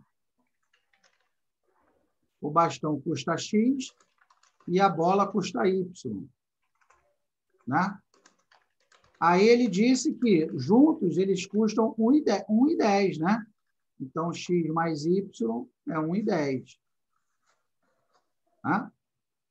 E ele disse que o bastão custa um real a mais. Então, o x é igual a y mais 1. Né? Um real a mais que a bola um sisteminha com duas equações e duas incógnitas. Então, se eu substituir ali, né, esse y mais 1 no lugar do x, então vai ficar o quê? y mais 1 mais y igual a 1 e 10. Então, 2y mais 1 igual a 1 e 10. 2y, esse 1 vai para cá, negativo, né? Então, vai ficar 10 centavos e aí y é igual a 10 centavos dividido por 2, e vai dar 5 centavos. É o valor da bola. 5 centavos. Agora, quem disse que o cérebro quer parar para fazer essa conta? Quer. Ele embrulha e manda. Ah, é um a mais? Então a bola é 10 centavos. Um custa 1, e junto custa 1,10, então é porque a bola é 10. E não é nada disso. Não está errado. É... Bem, então, para não cair nessas armadilhas do, do, do fast thinking, né? do pensamento rápido, eu tenho que trabalhar com enfoque sistêmico. Eu tenho que pensar nos problemas em profundidade, entender de, de que maneira as partes se interrelacionam, qual é a entrada e qual é a saída do meu sistema, o que, que o meu sistema foi feito para fazer. Né? Então, tem que identificar a missão, né, a definição, a missão ou a finalidade de um sistema. Eu tenho que entender como os elementos do sistema interagem. E aí, no final, é o que eu falei, né? a matemática ela é o menor dos problemas, porque ela vem no final. Ó. No final, eu utilizo um modelo para auxiliar na tomada de decisão. Então, primeiro eu tenho que identificar para que, que aquele sistema existe? Ele foi feito para fazer o quê? Né? Qual é o problema que eu tenho que resolver? Depois eu tenho que entender como as partes se interrelacionam. Porque também não adianta resolver um probleminha aqui né, e gerar outro problema lá na frente. E aí, por último, eu vou utilizar um modelo, que são esses modelos que nós estamos trabalhando. Né? Então, a gente começa a falar em decisão multicritério, que são os métodos que dão conta de resolver esses problemas. Então, quando, é, então para eu ter um problema multicritério, eles têm quais são as características desse, desse tipo de problema. Então, primeiro que eles têm que possuir múltiplos critérios, como eu falei para vocês. Não existe problema monocritério, porque se for monocritério é uma mensuração, não é um problema. Né? Então, possui múltiplos critérios. Normalmente, eles apresentam critérios conflitantes. Ou seja, você ganha num critério, mas perde no outro. Né? E apresentam diferentes unidades de medida para os critérios. Isso também é um problema. Né? Eu coloco lá, vou comprar um carro. Quais são os critérios relevantes? Ah, o preço do carro e a mala, por exemplo. Aí o preço do carro é em reais. A mala do carro é em litros. Como é que eu vou comparar reais com litros? Estou né? comparando dois critérios que têm unidades de medida diferentes. Como é que eu resolvo isso? Como é que eu comparo laranja com abacaxi? Tem como fazer, mas vamos aprender. Bem, e aí, esses modelos, né, que são vários modelos, há uma enormidade de. Né, só da família Electre são mais de 20, só do, da família Prometer são mais de 20. É, eles resolvem esse tipo de problema. Eu tenho vários critérios, critério 1, critério 2, N critérios. E aí eu vou avaliar as alternativas. Ó. Eu vou avaliar a alternativa 1 segundo esses cinco critérios. A alternativa 2, segundo esses cinco critérios. Alternativa 3, segundo esses cinco critérios. E a 4, segundo esses cinco critérios. Embora essa, essa, essa estrutura hierárquica dessa figura ela seja mais comum, seja mais usual, nós observa, observarmos essa estrutura no método HP, método Analytic Hierarchy Process, na verdade, essa estrutura ela é comum a praticamente todos os métodos multicritérios. Porque todos os métodos querem isso. Eles vão pegar N critérios, né? é, M alternativas, para escolher uma determinada alternativa. Né? Então, dessas alternativas, eu vou escolher aquela que me for a mais favorável para resolver o meu, o meu problema, para tomar minha decisão. Né? Então, vamos lá. E a gente começa a. Né? Então, depois desse papo todo, a gente precisa começar. Então, tá bom, já entendi o que é um problema complexo, já entendi que o cérebro ele quer tomar decisões rápidas para não gastar energia, já entendi que são critérios conflitantes. Tá bom, agora a gente precisa começar a modelar essa história matematicamente. Tá? Então, vamos lá. Então, então, no nosso problema, nós teremos N alternativas. Então, tenho lá x1, x2, né, até xn. E Q critérios. Né? Essas N alternativas e esses Q critérios vai gerar o que a gente chama matriz de decisão. Esse nome ele muda um pouco de esse nome ele muda um pouco dependendo do método, mas no frigir dos ovos é tudo a mesma coisa, é tudo matriz de decisão. Né? Mas o, o Bernard Roy, quando escreveu o método elétrico, chama de matriz de performance. O professor Adiel, quando usa lá o método Fit-Trade-Off, chama de matriz de consequências. O método HP chama de matriz de decisão. Mas, no fundo, é tudo a mesma coisa. Né? Eu tenho N alternativas e Q critérios. E é uma matriz que vai ter e aí essa matriz vai ter um RJ associado, né? cada alternativa para cada critério, eu vou ter aí um valor RJ, que vai gerar essa matriz aqui. Aí você fala, pô, acabou, acabou a minha tarde, já veio, porra, já veio esse gordo maluco encher o meu saco, um monte de letra voando para tudo que é lado, ferrou, não vou conseguir mais entender. Não, não é nada disso. É muito tranquilo de entender. Vamos entender. Olha só. Aqui, por exemplo, recentemente, nós aprovamos um artigo lá no Convibra. Acho que o Igor está até aí, né? junto com o Igor. Acho que o Igor está aí. Eu acho que tive a impressão que ele estava entrando aí na, na live. Estou aqui, professor. Não está aí? Então. Sim, pois é. Então, é, nós escrevemos esse artigo que foi apresentado lá, inclusive o Luiz Paulo Fávero é um dos autores. Né? E aí o problema é. Aí você vê o título, você se assusta, né? Você fala, pô, isso aí deve ser um negócio da NASA. Né? Você lê o título, aplicação do método híbrido HP TOPS 2N para seleção de um helicóptero de ataque para. Pô, aí o cara tem que ser da NASA, maluco, para escrever isso aí. Uma pessoa normal não é capaz de escrever isso. Não é possível. Eu me recuso a entender isso aí. Não dá. Sem chance. Mas não é nada disso, olha só. Não tem nada demais. Essa matriz de decisão, né, que eu falei no slide anterior, aqui, né?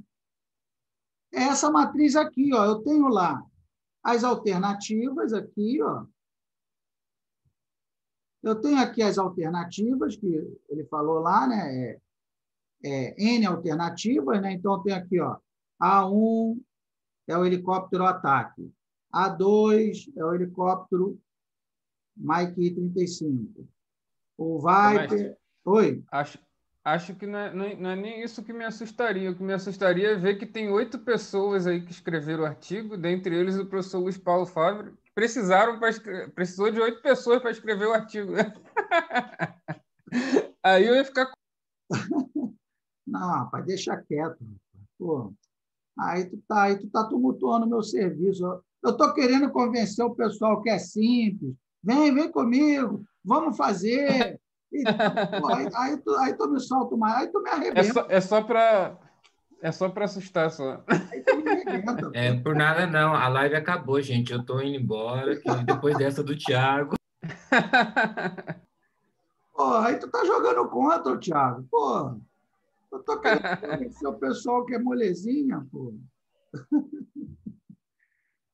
Então, aqui eu tenho a alternativa 4, 5 e 6. Então, está lá as seis alternativas. E aqui são os critérios. Ó. Critério 1, critério 2, critério 3, critério 4, critério 5, critério 6 e critério 7. Aí, essa é a nossa matriz de decisão. Ó. Seis alternativas e sete critérios. Aí, observa o seguinte, que realmente os critérios eles tendem a conflitar, né?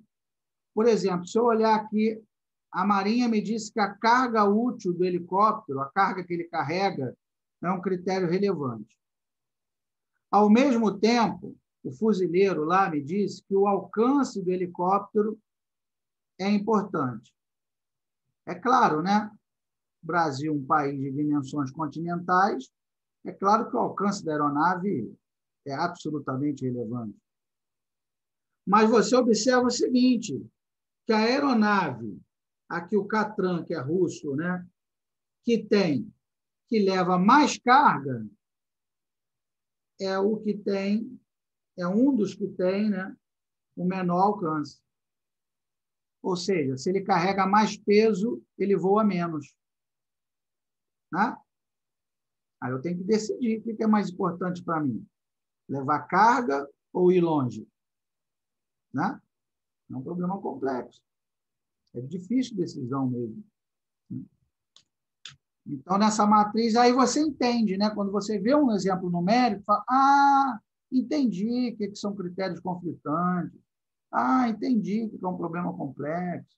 Entendi que é a matriz de decisão, né? O Bob Esponja ficou lá desesperado, mas é fácil, tranquilo. Ah, é isso que é uma matriz de decisão? Ah, beleza, entendi. Exatamente. Né? Aqui, ao invés de ser helicóptero, pode ser estagiário, para eu escolher, né? Maria, José, João, Carlos, né? E aqui no critério pode ser domínio de inglês, domínio de Excel, né? redação, iniciativa. Né? Bem, aí vem a escolha do método, aí é outra novela. Né?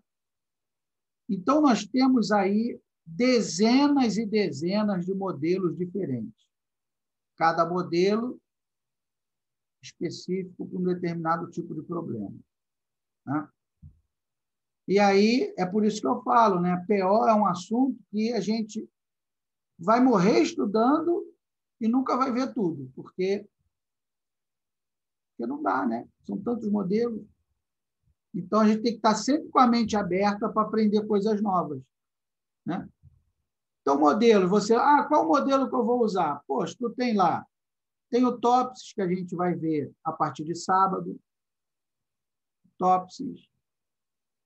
Tem o HP, né? que é um dos mais utilizados do mundo, um dos mais, não, o mais utilizado. Né? Tem o Sapevo, Sapevo M, tem o Thor, o Prometer. Só dentro do Prometer tem quantos métodos, Miguel? Fala aí. 20 quanto?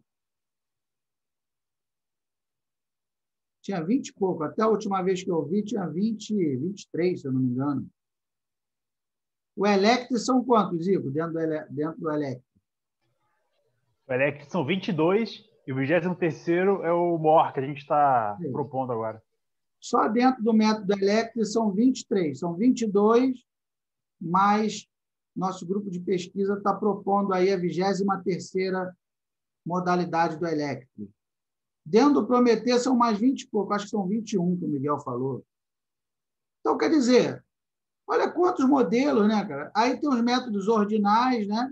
De Borda, Condorcet e Copland. Os métodos ordinais, que são três, Borda, borda com dorsê, com dorsê e Copland. E por aí vai. E não acaba, não. Isso aqui são só alguns exemplos. E aí eu vou ter que escolher um para resolver o meu problema. No final, eu vou ter que analisar o meu problema, analisar a massa de dados que eu tenho, quem são os decisores, e no final, ó, opa, vou usar o Sapevo. Vou usar o Sapevo N. Está resolvido o meu problema. Então, existe toda uma taxonomia que eu tenho que seguir aqui nesse funil até chegar lá embaixo e sair um método que vai resolver o meu problema. Né?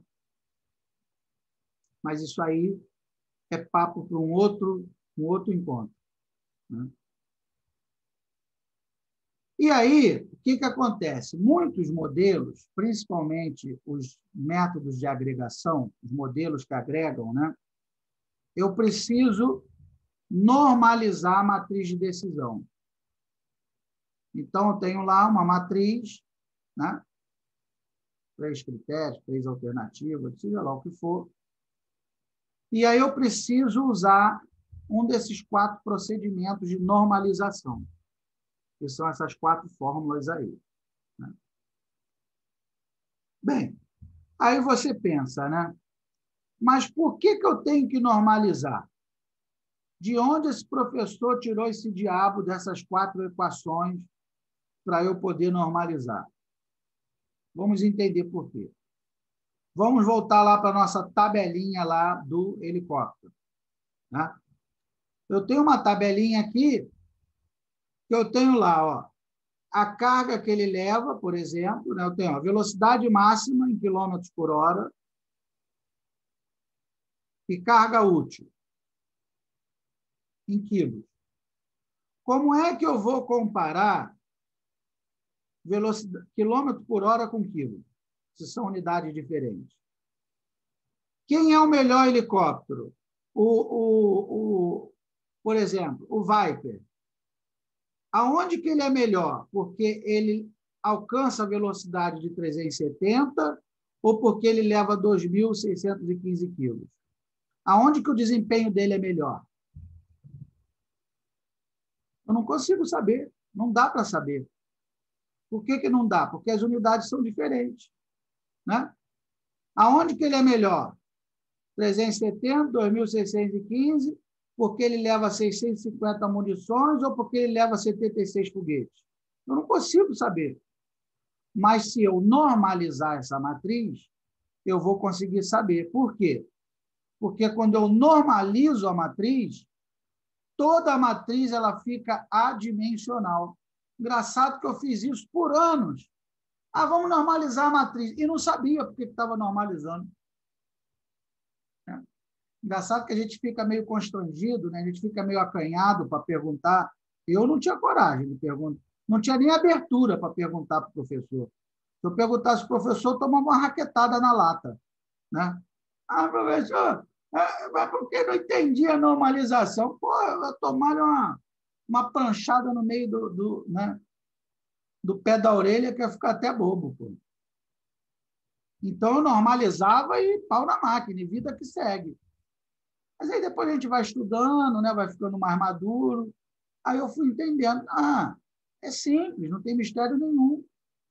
Eu normalizo a matriz toda para ela ficar dimensional e eu poder comparar critérios diferentes. É só isso. Não tem mistério nenhum. Né? Que nem o coeficiente de variação, por exemplo, né? É. A gente tem o desvio padrão, que tem unidade de, de medida é, diferente, você não consegue comparar duas coisas, né? E aí você tira a média, que tem a mesma unidade, corta, vira dimensional, né? Aí dá para comparar. Exatamente. É para isso. Né? É para isso que a gente normaliza a matriz de decisão. É, então, vamos lá. Então, vamos colocar a mão na massa, né? porque eu já falei muito, e quando eu falo muito, eu não gosto. Eu gosto que vocês efetivamente coloquem a mão na massa, resolvam os exercícios. Então, quem não pegou caderno, lápis, caneta, pega lá, porque você vai precisar anotar agora. Tá? A gente vai fazer um exercício agora prático aqui. E aí depois o, o Tiago vai entrar. E, e, e, só lembrando que todas as aulas são assim, né? Todas as aulas têm mão na massa. Né? Todas as e aulas tem também a prática na, no software. Né? Tem mão na massa e prática no software. Todas as aulas eu faço exercício na mão, mostro os cálculos, porque também não adianta você saber só apertar botão. Você tem que ver de onde que, né, aqueles cálculos foram realizados, eu vou fazendo passo a passo, e aí depois o Tiago entra usando R. Né? Então, a ideia é essa. Tá? Beleza, vamos, vamos torcer para o meu, meu roteador do celular durar aqui, porque acabou a luz aqui, né? Eu acabou a luz, é? eu estou no escuro aqui, eu estou roteando pelo celular. Espero que a gente consiga fazer, vamos ver. Caramba, que sufoco, rapaz. Pois é, choveu para caceta aqui. Bem, é... Então, vamos lá. Aproveitando que o pessoal está pegando material, Tiago, manda o link aí. É, o link da. as inscrições já estão abertas né, para a terceira turma. Manda aí no chat o link da. O link da terceira turma. Opa, vou mandar aqui. E já três pessoas já se inscreveram. Hã? Três pessoas já se inscreveram. Se alguém tiver com alguma dúvida, quiser perguntar alguma coisa, já aproveita e pergunta logo. É, então, vamos lá. Então, ó, então, o exercício é montar uma matriz de decisão e normalizá-la de acordo com um dos quatro critérios, um dos quatro procedimentos. O que, que eu vou fazer? Eu vou é, normalizar de acordo com o procedimento 3, por exemplo que é o procedimento utilizado no método Analytic Hierarchy Process. É o AIJ dividido pelo somatório de AIJ. E depois o Tiago vai mostrar no R a normalização, os quatro procedimentos no R. Tá? Aí você fala, cara, eu não vou nunca entender isso aí, rapaz. Peraí, pelo amor de Deus. Não, vai sim. Vai entender. Né? Vamos lá. Então, vamos dar um exemplo. Então, nosso problema é. Nosso problema. Professor, Fala. Só, só, só dando as boas-vindas aí ao Fábio, ao Paulo e ao Rafael aí que se inscreveram, né? Não sei se eles estão aqui, todos eles, mas sejam muito bem-vindos aí, né? Bem-vindo. Muito legal. Obrigado aí pelo prestígio ao nosso trabalho. Então, então, o meu problema é comprar um smartphone. Né? Então, eu começo a estruturar o meu problema. Né? É, bem, é, como eu trabalho, é, como eu ganho pouco, então o custo o custo é um critério. Né? É, bem, então, é, como eu trabalho longe e não tenho onde recarregar, então a bateria a bateria também é um critério. A duração em horas né, da bateria. E aí, é, eu trabalho com manutenção, preciso tirar foto dos reparos, então a nitidez da câmera em megapixel também é um critério. Megapixel. Ok. Aí eu vou olhar, vou pesquisar no mercado quais são os telefones disponíveis. E aí, por exemplo, eu chego lá no, no iPhone, no Samsung e no LG, por exemplo. Né? Cheguei nesses três. Ok. Então, aí agora nós vamos fazer a matriz de decisão, que é o que eu falei, foi o exemplo lá dos helicópteros, do artigo que nós fizemos lá com o professor Fábio. Então, ó, matriz de decisão. Então, vou colocar lá, ó, nas linhas, eu vou colocar as alternativas, iPhone, Samsung, LG.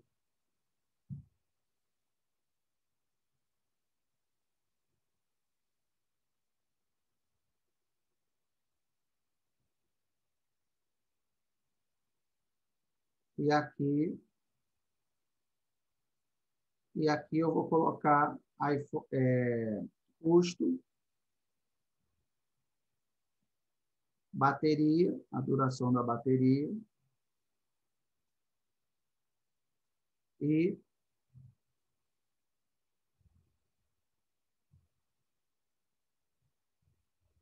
e a câmera.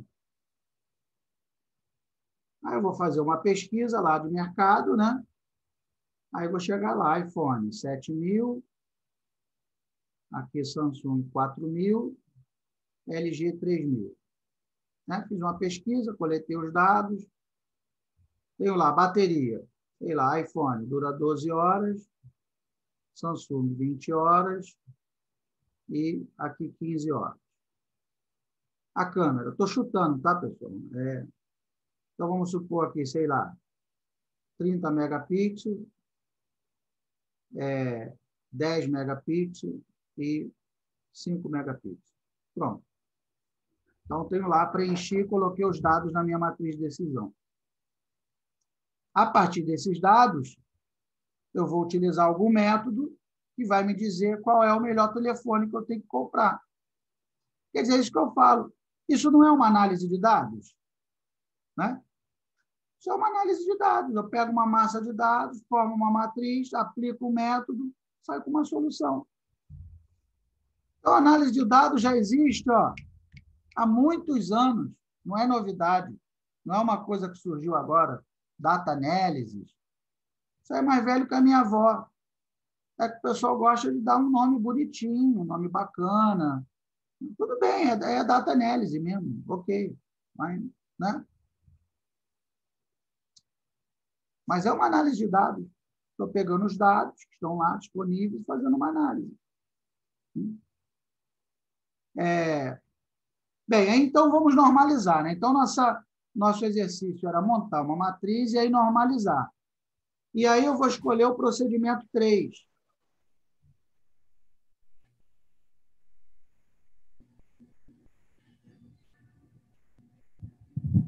Então, o procedimento 3, né, o, o valor normalizado, RJ, é igual ao AIJ dividido pelo somatório do AIJ, da coluna, né? em cada coluna. Eu vou deixar o custo por último de propósito, tem um detalhe no custo. Então, aqui, por exemplo, a bateria. Deixa eu fazer ela aqui. Bateria. Quando chegar no custo, eu vou fazer uma, uma observação, tem uma pegadinha ali no custo. É, então, o que, que eu vou fazer? Deixa eu mudar aqui a cor. Então, eu tenho aqui bateria. Né?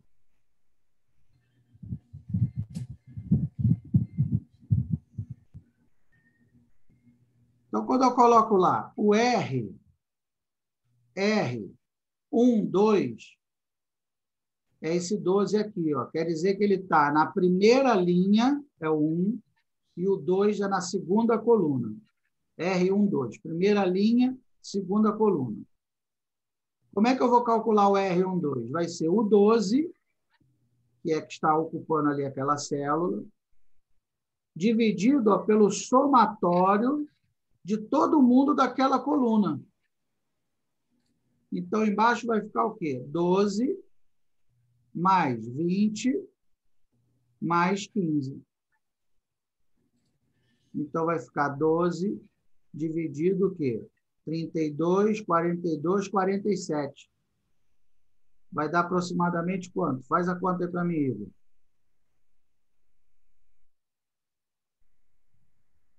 que, é que vai dar?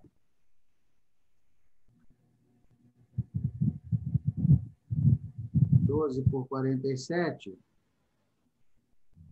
zero vinte e seis aproximadamente. Depois eu vou calcular o R22. O que, que é o R22? É o 20, está na segunda linha e segunda coluna. Então, vai ser o 20 dividido pelo, pelo somatório da coluna toda. Então, novamente, vai dar 47. Então, 20 por 47 vai dar quanto? 0,43. Tá? E, por último, vai ser o R de onde? Da terceira linha, segunda coluna, é o 15. Vai ser 15, 15 dividido pelo somatório dos três, que é 47. 032, professor. 032. 032. Pronto normalizei essa coluna toda. Agora eu vou para a câmera. Agora eu vou aqui para a câmera.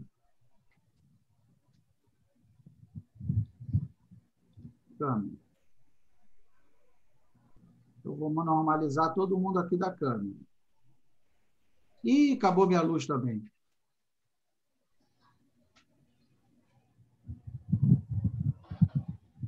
Putz, sério? Caramba, pô. O celular também.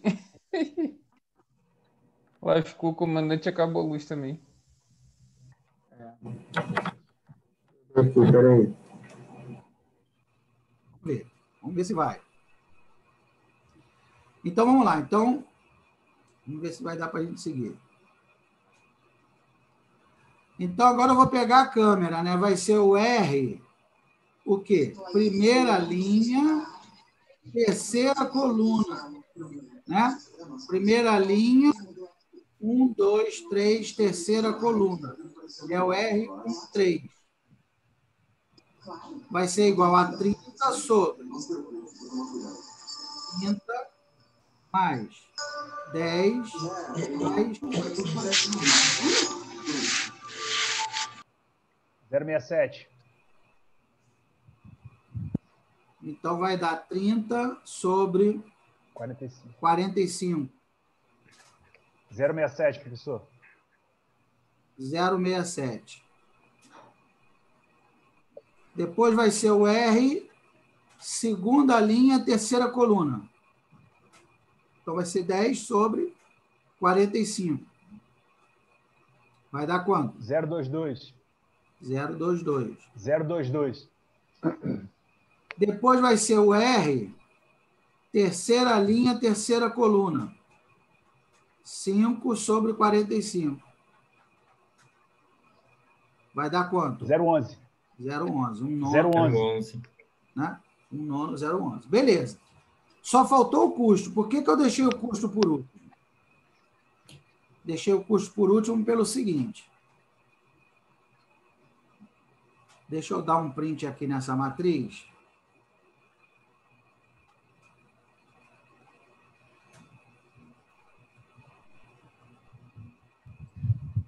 E aqui o tempo está virando também, hein? Vai dar uma.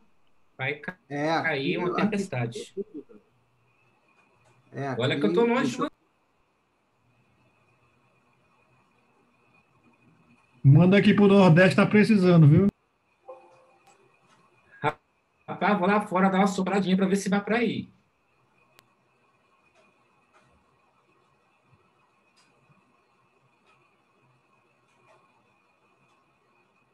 Peraí, vamos voltar aqui. Hum.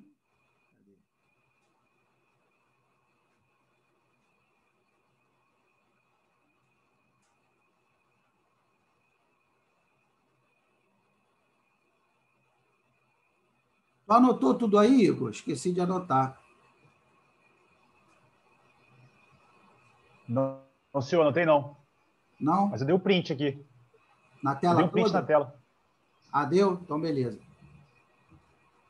Bem, aí o custo, a gente tem que tomar um cuidado adicional. Por quê? Porque o custo é o seguinte: o custo, quanto maior, ele é pior. Né?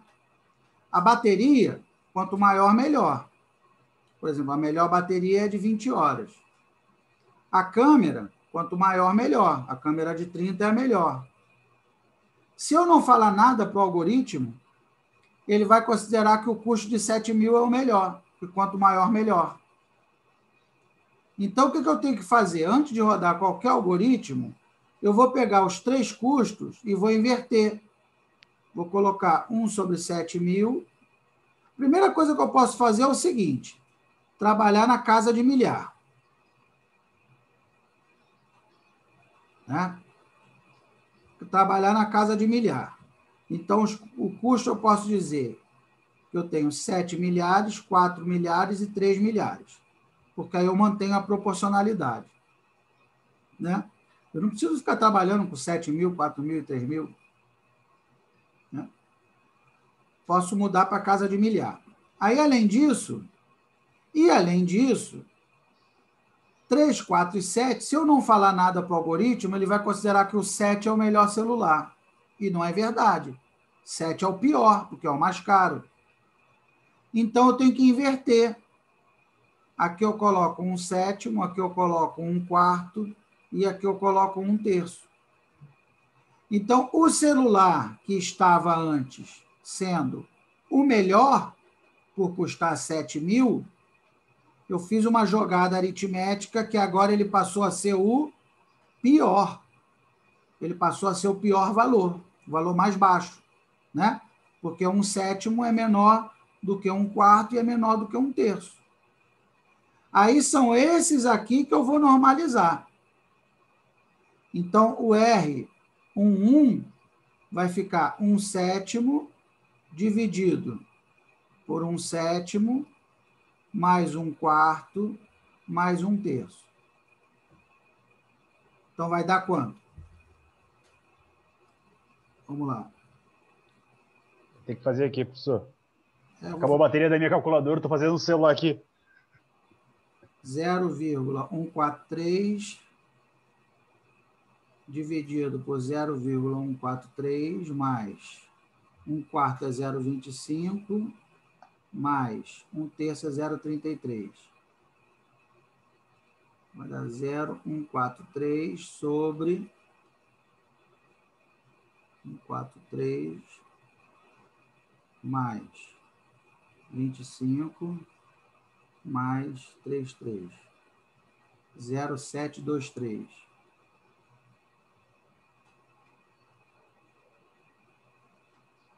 143 dividido 723. Vai dar 198, 0,1 0,2 quase, né? 197, 198, 0,2 aproximadamente. 0,2, 0,20. Né? Aí o R é 1 quarto, né? É o R21. Vai ser o quê? Vai ser 1 quarto dividido por 0,723. 1 quarto é 0,25, né? Dividido por 0,723. Dá 0,35. 0,35. E aí, por último, o R31, que vai ser 1 terço, que é 0,33, dividido por 0,723. Vê aí quanto é que vai dar. 0,46. 0,46. Professor, Fala. aí nesse caso você está é, transformando o custo numa coisa positiva, então, no caso, né? É, não, exatamente. É justamente por isso que eu fiz essa jogada. Observe o seguinte, que o celular, que era o mais caro, que custava 7 mil, olha só, ele ficou com o menor número decimal, ele ficou com 20% de peso. Deu 20, 35, e o LG, que é o mais barato, que custava 3 mil, olha o peso dele, 46%, ficou com maior peso. Então, eu fiz uma jogada aritmética de tal maneira que o celular mais caro ficou com o menor peso. E o mais barato ficou com o maior peso. Porque o custo, o custo ele inverte. Quanto maior o custo, pior. Né? Diferente da bateria e da câmera. A bateria e a câmera, tudo bem. Quanto maior, melhor. Mas o custo, não. Por isso que eu tive que fazer essa jogada aritmética aí. Entendi, professor. Entendi então, essa jogada. Entendeu? É, poderia, Poderia colocar valores negativos na matriz de decisão? Poderia. Ou não? Poderia, poderia sim. Poderia também. Poderia. Entendi. Se eu inverter também, né, menos 7 mil, menos 4 mil e menos 3 mil, o menos 7 mil é pior do que o menos 3 mil. Pode ser negativo também. Sim. Mas aí não, é, não, não, não quebraria a regra da normalização, que é entre 0 e 1? Não, veja bem. Olha, a normalização quando a gente fala em norma, essas quatro normalizações dos métodos multicritério, não tem nada a ver com a normalização lá da estatística. Embora seja o mesmo nome, né? Na verdade, são duas observações que eu tenho que fazer. Isso eu já tinha esquecido de falar foi importante ter perguntado. A normalização. Na verdade, a da estatística é padronização, né? É. Essa normalização que a gente faz aqui não tem nada a ver com a normalização da estatística, embora tenha o mesmo nome. Mas essa sua pergunta foi muito boa, foi sensacional. Só que observa, se eu, se eu colocar todo mundo negativo, vai continuar entre 0 e 1, um, porque eu vou ficar com menos 7 mil dividido por menos, vai dar 7 com 4, 11, 14. Menos 7 mil dividido por menos 14 mil, vai dar positivo. Na hora que eu fizer a normalização, dá positivo, não vai dar negativo. Vai ficar negativo aqui na matriz de decisão original, mas depois vai, quando eu normalizar, o menos vai sumir. Professor, mas aí vai ficar positivo, mas o, o maior valor vai ficar sendo o maior valor também. Então, nesse caso específico, para essa normalização, como pega o somatório de todos, eu acho que tem que ser do jeito que o senhor fez mesmo, de inverter. É, não. Aí, elevado a menos um. É, cada problema é um problema, né? A gente tem que analisar uhum. se o critério é monotônico de custos, se é de benefício, né? Cada problema, cada problema é um problema. Né? Então, aqui, ó. Então, vou botar aqui o Samsung e aqui o LG. Aí, no fim das contas, vamos colocar aqui, ó, custo, bateria,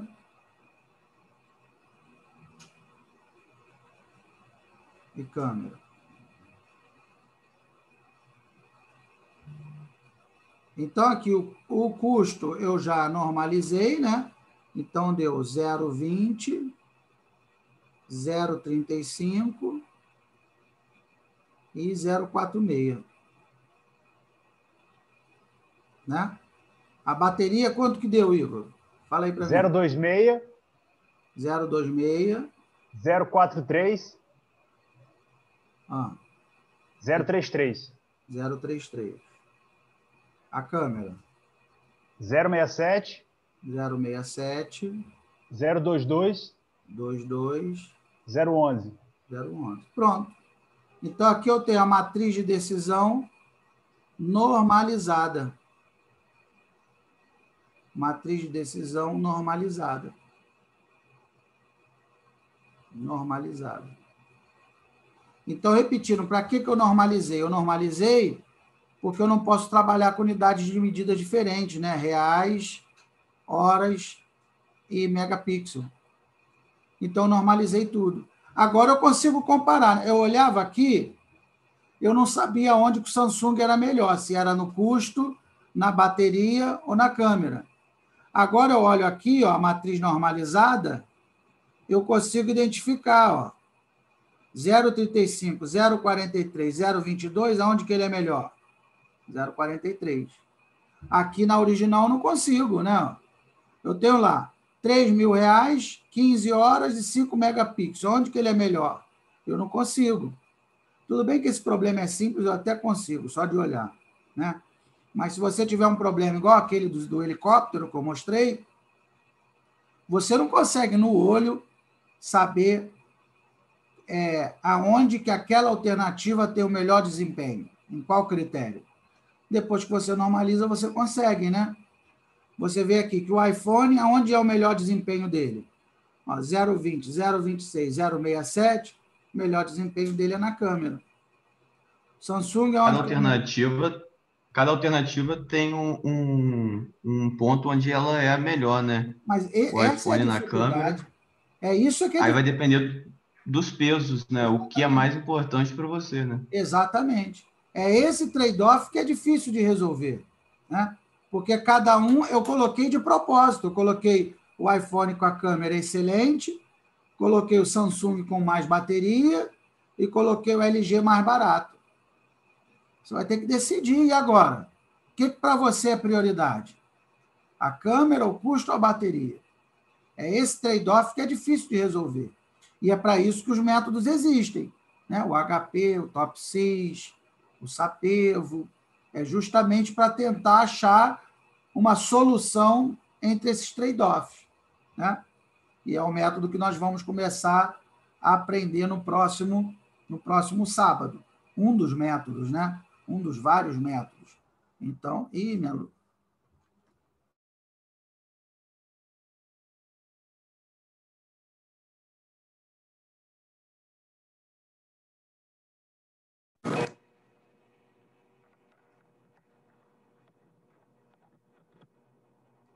acabou e voltou. É, então, os métodos, eles ajudam, é o que eu falei, né? O método ele não vai acabar com a subjetividade do processo decisório, porque eu vou ter que dizer o que, que para mim é mais importante, se é o custo, a bateria a câmera. E aí isso é importante para mim. Se for para o Pedro, já é outro problema, né? Então, ele ajuda, esses métodos ajudam nesse processo de estruturação. Né? Então, eu fiz questão de mostrar para vocês os quatro tipos de normalizações.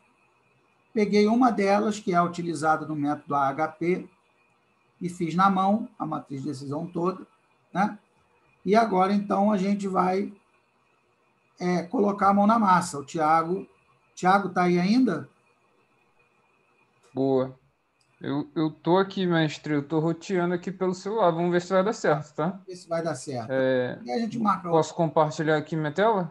Peraí, deixa eu tirar aqui a minha. Peraí. Beleza. Vai lá. Então agora Vou compartilhar aqui, pessoal. Vamos ver se vai dar quatro... certo. O Thiago vai mostrar essas quatro normalizações que eu mostrei, só que resolvendo no R, né? Ele vai normalizar uma matriz de decisão, pode ser até a mesma. Você tem que me habilitar aqui, mestre. É, eu te botei como co Não consigo. É, mas não, o co-host não, não, necessariamente pode compartilhar então, o. Então tá. agora foi, beleza. Agora foi. É... Ah, deixa eu ver aqui. Beleza. Então tá bom. Então vocês estão vendo aqui minha tela, pessoal? Pô, tu já até pegou os valores que eu botei, pô. Não, não. Só vendo sim, mestre. Só que eu, eu fiz aquele exemplo, né? Aquele exemplo que você me passou. Mas eu posso botar quais são os valores? Fala aí. Que eu faço aqui. Peraí, Na verdade, aí são três, né? É, são três. Deixa aí eu... são três. Você quer que eu faça com três ou quer que eu faça com quatro aqui? Vamos fazer o para o pessoal ver, né? O teu exemplo é melhor, eu acho que fica mais é. didático. Fala Você aí, botou iPhone, Samsung e LG? iPhone, Samsung. Calma aí, rapidinho. Quantos valores? iPhone, Samsung e LG. Calma aí, deixa eu só mudar, fazer as alterações aqui. Calma aí, aqui vai ser é, três linhas. Três e três. Ah, três colunas, beleza. Calma aí, só tem que mudar aqui isso aqui. Tá. Vamos lá. E qual, é quais são os valores aí? Fala. iPhone. Tem que ser na, na linha, tá? Por favor. Fala aí, Igor. Tu anotou aí? Eu anotei só custo e câmera. A bateria eu não lembro, não. Tem aqui, Tiago. Eu tenho ah, aqui. Manda aí. Manda aí, por favor. 7.012,30. 12,30. 4.020,10. 4.020,10. 3.015,5. Bingo? Opa, binguei aqui. 15 mil. É 3.015,5? Correto. Boa. Então, então bora lá. É, eu vou ter que fa fazer algumas adaptações aqui, mas aí a gente vai adaptando. Vamos lá. Então, pessoal, primeiramente, né, o que, que é essa, essa coisa azul aqui que vocês estão vendo? Né? Essa coisa azul aqui que vocês estão vendo é RStudio, né? É, apresentados aí, para quem não conhece, né? O RStudio ele é uma IDE, né? O que, que é uma IDE? A IDE ela potencializa, né? Uma linguagem de programação, seja ela qualquer né? O RStudio ele é uma das mais utilizadas para o R, tá? Mas ele compila por muitas linguagens, né? Inclusive você consegue rodar Python dentro do RStudio também, tá? É, tem como fazer, tá? Então, é, a RStudio ela potencializa no sentido de, ela te coloca point click, né? Você consegue instalar pacotes, né? Point click, você consegue ver janelas gráficas que a, a própria linguagem né, compilada ali na, no, no prompt dela, ela não te permite. Né? À medida que você tem objetos dentro da memória, sejam vetores, data frames ou listas, né, ela vai fazendo autocomplete, né? Quando você vai digitando o nome, ele vai reconhecendo e vai completando para você, que também facilita demais? Algumas outras brincadeiras também, por exemplo, que tem no Notepad++, né? Você pode selecionar mais de uma linha aqui, ó, para ir brincando, você pode, ó, tá vendo? Então, você consegue fazer uma codificação muito mais interessante, né? muito mais otimizada, tá? E não só isso também, você tem algumas coisas aqui que você pode conectar a bancos, enfim, tem, tem uma série de coisas. Você pode importar banco point click, né? E setar o diretório click, tem uma série de, de coisas desse sentido, tá? Então, basicamente, aqui é o teu bloco de notas, onde você vai é, digitar né, o seu código, tá? Aqui é onde você vai compilar o seu código, por exemplo, se eu der Ctrl Enter ou vir aqui em Run, ele vai compilar aqui embaixo e vai me mostrar né, quais são é, quais, qual é o resultado do, do output do código que eu, que eu comandei aqui em cima, tá? E aqui no canto superior direito é onde vão ficar os seus objetos, ou seja, pode ser você bota um data frame aqui lá do Excel, né? O que é um data frame? É um conjunto de linhas e colunas, né? Que é o que a gente está acostumado com uma planilha Excel, por exemplo, né? Então, ele vai aparecer aqui para você, o nomezinho dele aqui, você pode clicar e ele vai abrir para você, né? Aqui, aqui embaixo é onde eventualmente a gente vai fazer gráficos e aí pode aparecer aqui os gráficos ou aqui na aba Viewer, tá? E assim por diante. E também aqui o Help, bem, bem interessante também, né? Por exemplo, se eu quiser algum tipo de função, eu dou um, um interrogação, chama função, e ele vai me direcionar aqui exatamente ao repositório. e ele vai te explicando o que, que faz cada coisa e tudo mais, quais são as funções que tem dentro do pacote, ele já te dá esse V0, que é muito legal, né? Para quem ainda não está habituado com a linguagem, isso é muito interessante. E à medida que eu vou rodando, vai aparecendo vermelhinho aqui, ó. E aí você pode ver se ele ainda está rodando, tá? Então, basicamente é isso, né? Devidamente apresentados. Aqui você tem as abas, né? Eu, eu não costumo estabelecer projetos, mas se vocês quiserem criar projetos, vocês podem criar também, e aí ele já vai setar o diretório automaticamente, tá? Aqui, como a gente não vai carregar nada, né? A gente só vai trabalhar com... É, só, na verdade, a gente vai carregar pacote, né? Mas a gente não vai utilizar é, nada que externamente, a gente não vai imputar um banco de dados, por exemplo, aqui, importar um banco de dados para o R, né?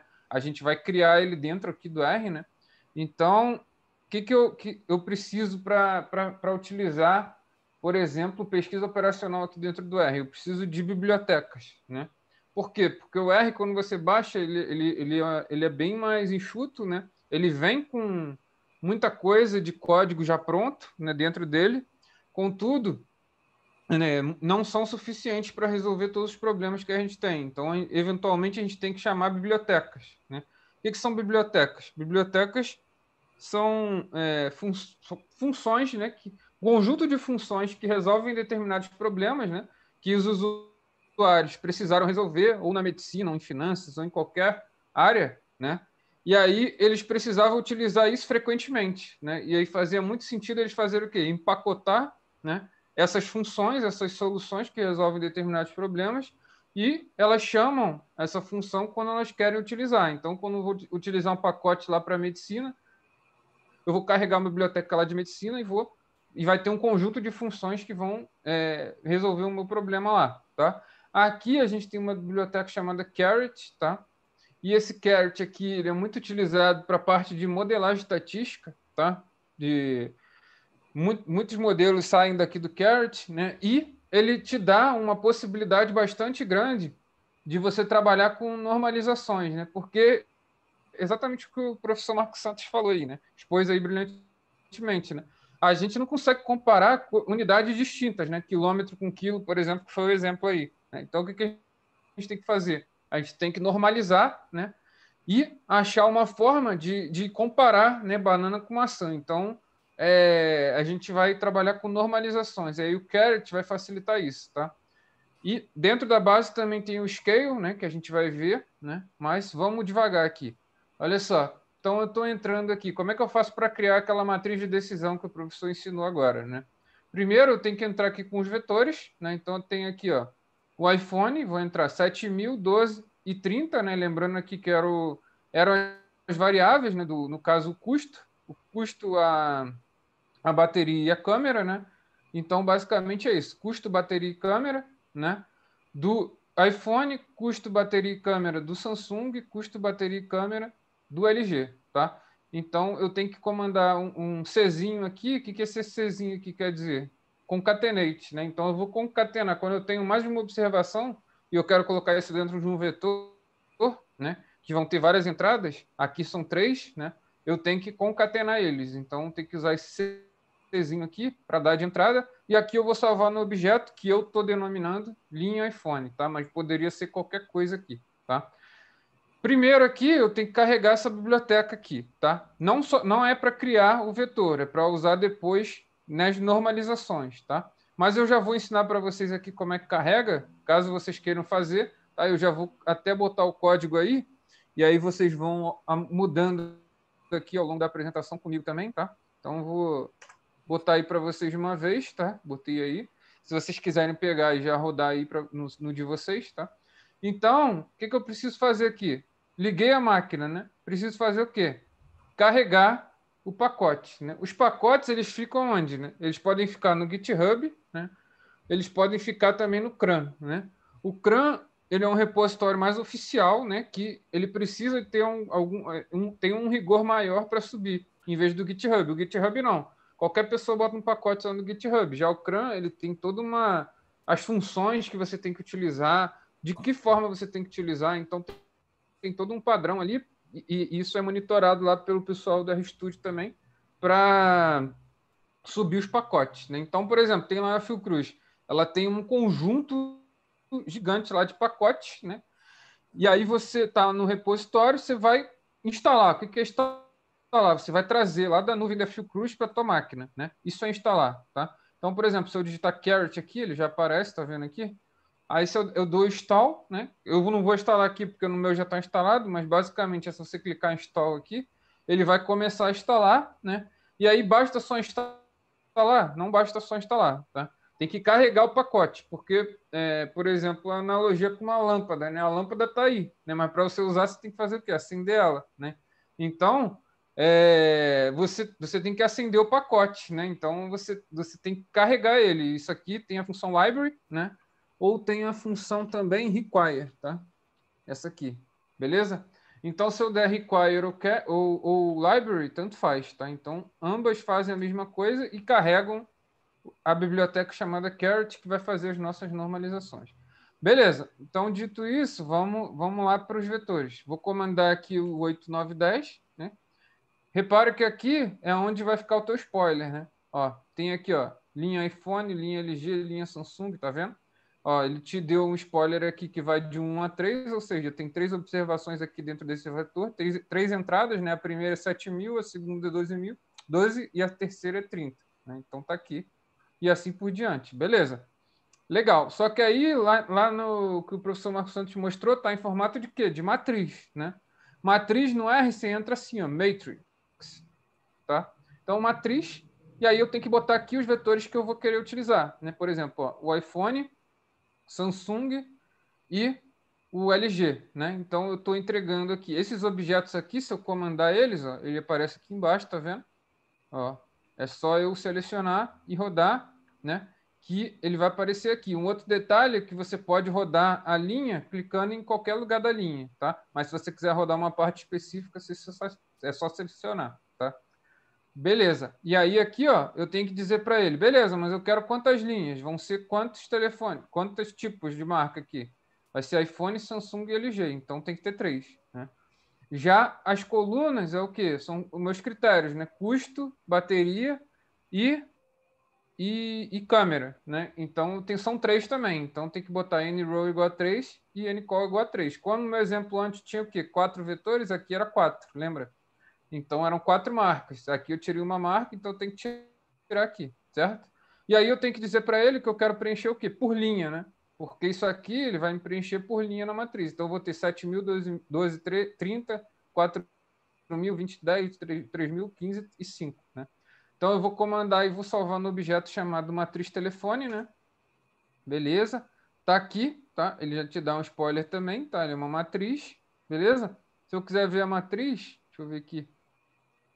Ó, ele já mostra aqui para mim, eu cliquei só aqui do lado, tá vendo? Isso aqui é um, uma das possibilidades da IDE, né?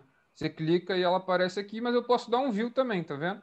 E isso funciona tanto para matriz quanto para data frame, né? Que é um, um tipo mais particular no R, que o matriz trabalha só com tipo de dados, o data frame não. Pode trabalhar com diversos tipos, string, numérico, fator e, e, e por diante, tá? Então, essa é a, dif é a diferença de matriz para data frame. Está aqui meus valores, ó, 7.012,30, 4.020,10 e assim por diante. Beleza.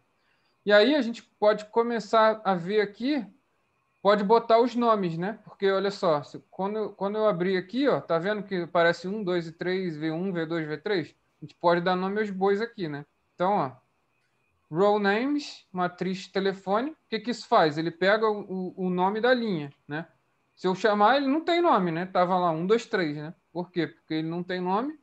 E se eu pegar as colunas, vai ser o quê? Também não tem ainda. Então, vamos criar. Vamos criar aqui. Apesar dele botar V1, V2, V3, ela não existe lá. Né? Então, aqui, ó, eu estou atribuindo o nome das linhas e o nome das colunas. Então vai ser iPhone, Samsung, LG e tira esse aqui, né? Porque não tem mais. E custo, bateria e câmera, tá? Então vamos rodar aqui, comandar a 19 a 20, beleza? Agora, se eu chamar a matriz telefone agora, olha só, já aparecem os nomes, tá vendo? iPhone, Samsung, LG, custo, bateria e câmera, que são os critérios, tá? Beleza.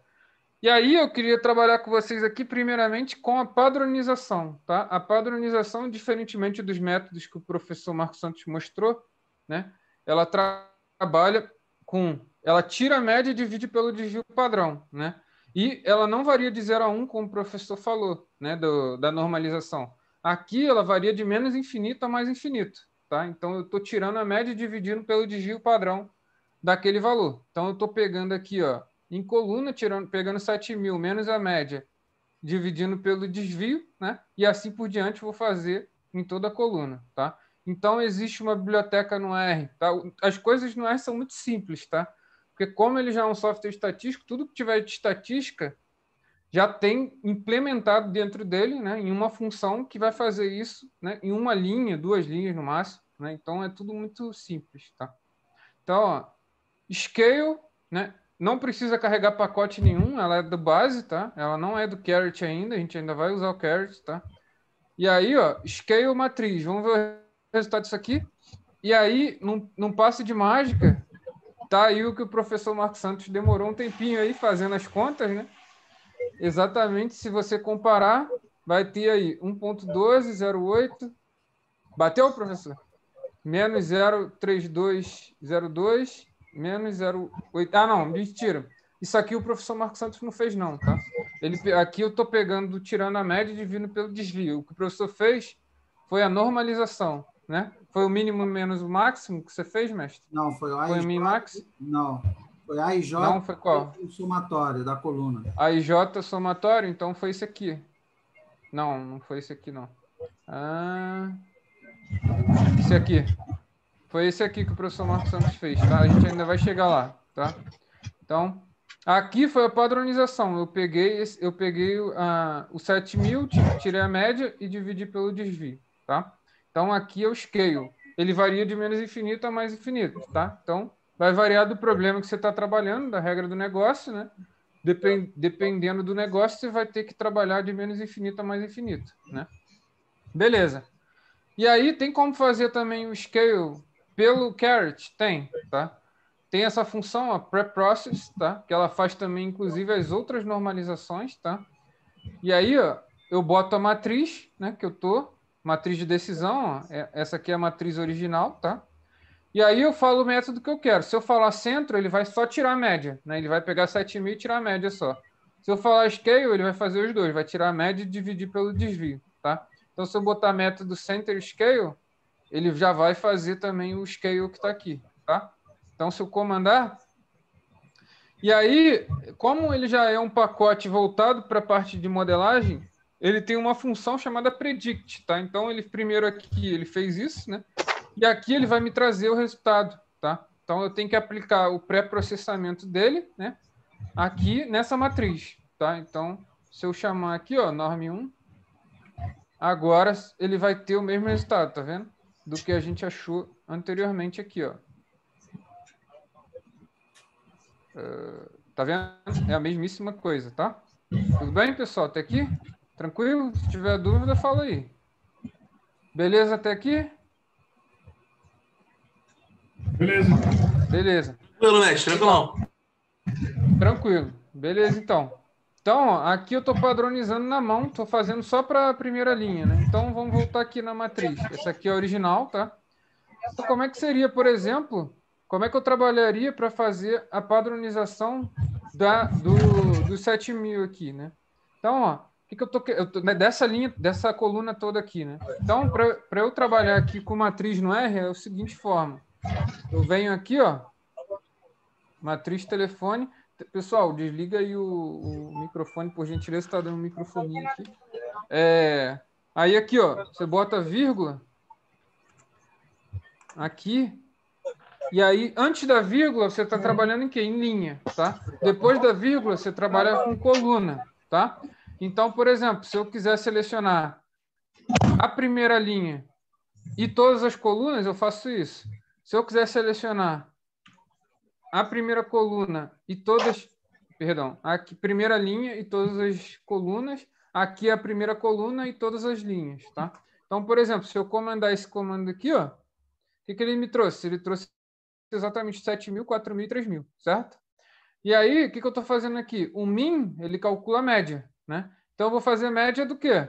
A média do, do, de, 7, de 7 mil, 4 mil e 3 mil, certo? Então, eu estou selecionando aqui essa, esses 7 mil, 4 mil, 3 mil e estou fazendo a média. Tá? Então, eu vou pegar essa observa essas observações, tirar a média de cada uma delas. Né? E aí, se eu comandar aqui só essa parte, né, a gente tem o resultado de 7 mil menos a média dele, 4 mil, aliás, menos a média do grupo aqui, né? 4 mil menos a média do grupo, 3 mil menos a média do grupo. Beleza. E aí falta o quê? Dividir pelo desvio padrão. Né? O desvio padrão tem a função SD. Tá? Então você vê que tem tudo dentro do R muito, muito simples. Né? Tem uma função já dentro que faz aquilo. Então, ó, SD do quê? Da, do meu vetorzão. Né? Do meu vetor, ó, 7.000, 4.000, 3.000. Tá? Então, a gente pode até fazer um, antes aqui o SD sozinho, né? para ver quanto que vai dar. Ó, deu 2.081. Né? Então, vou dividir, vou pegar esse valor né?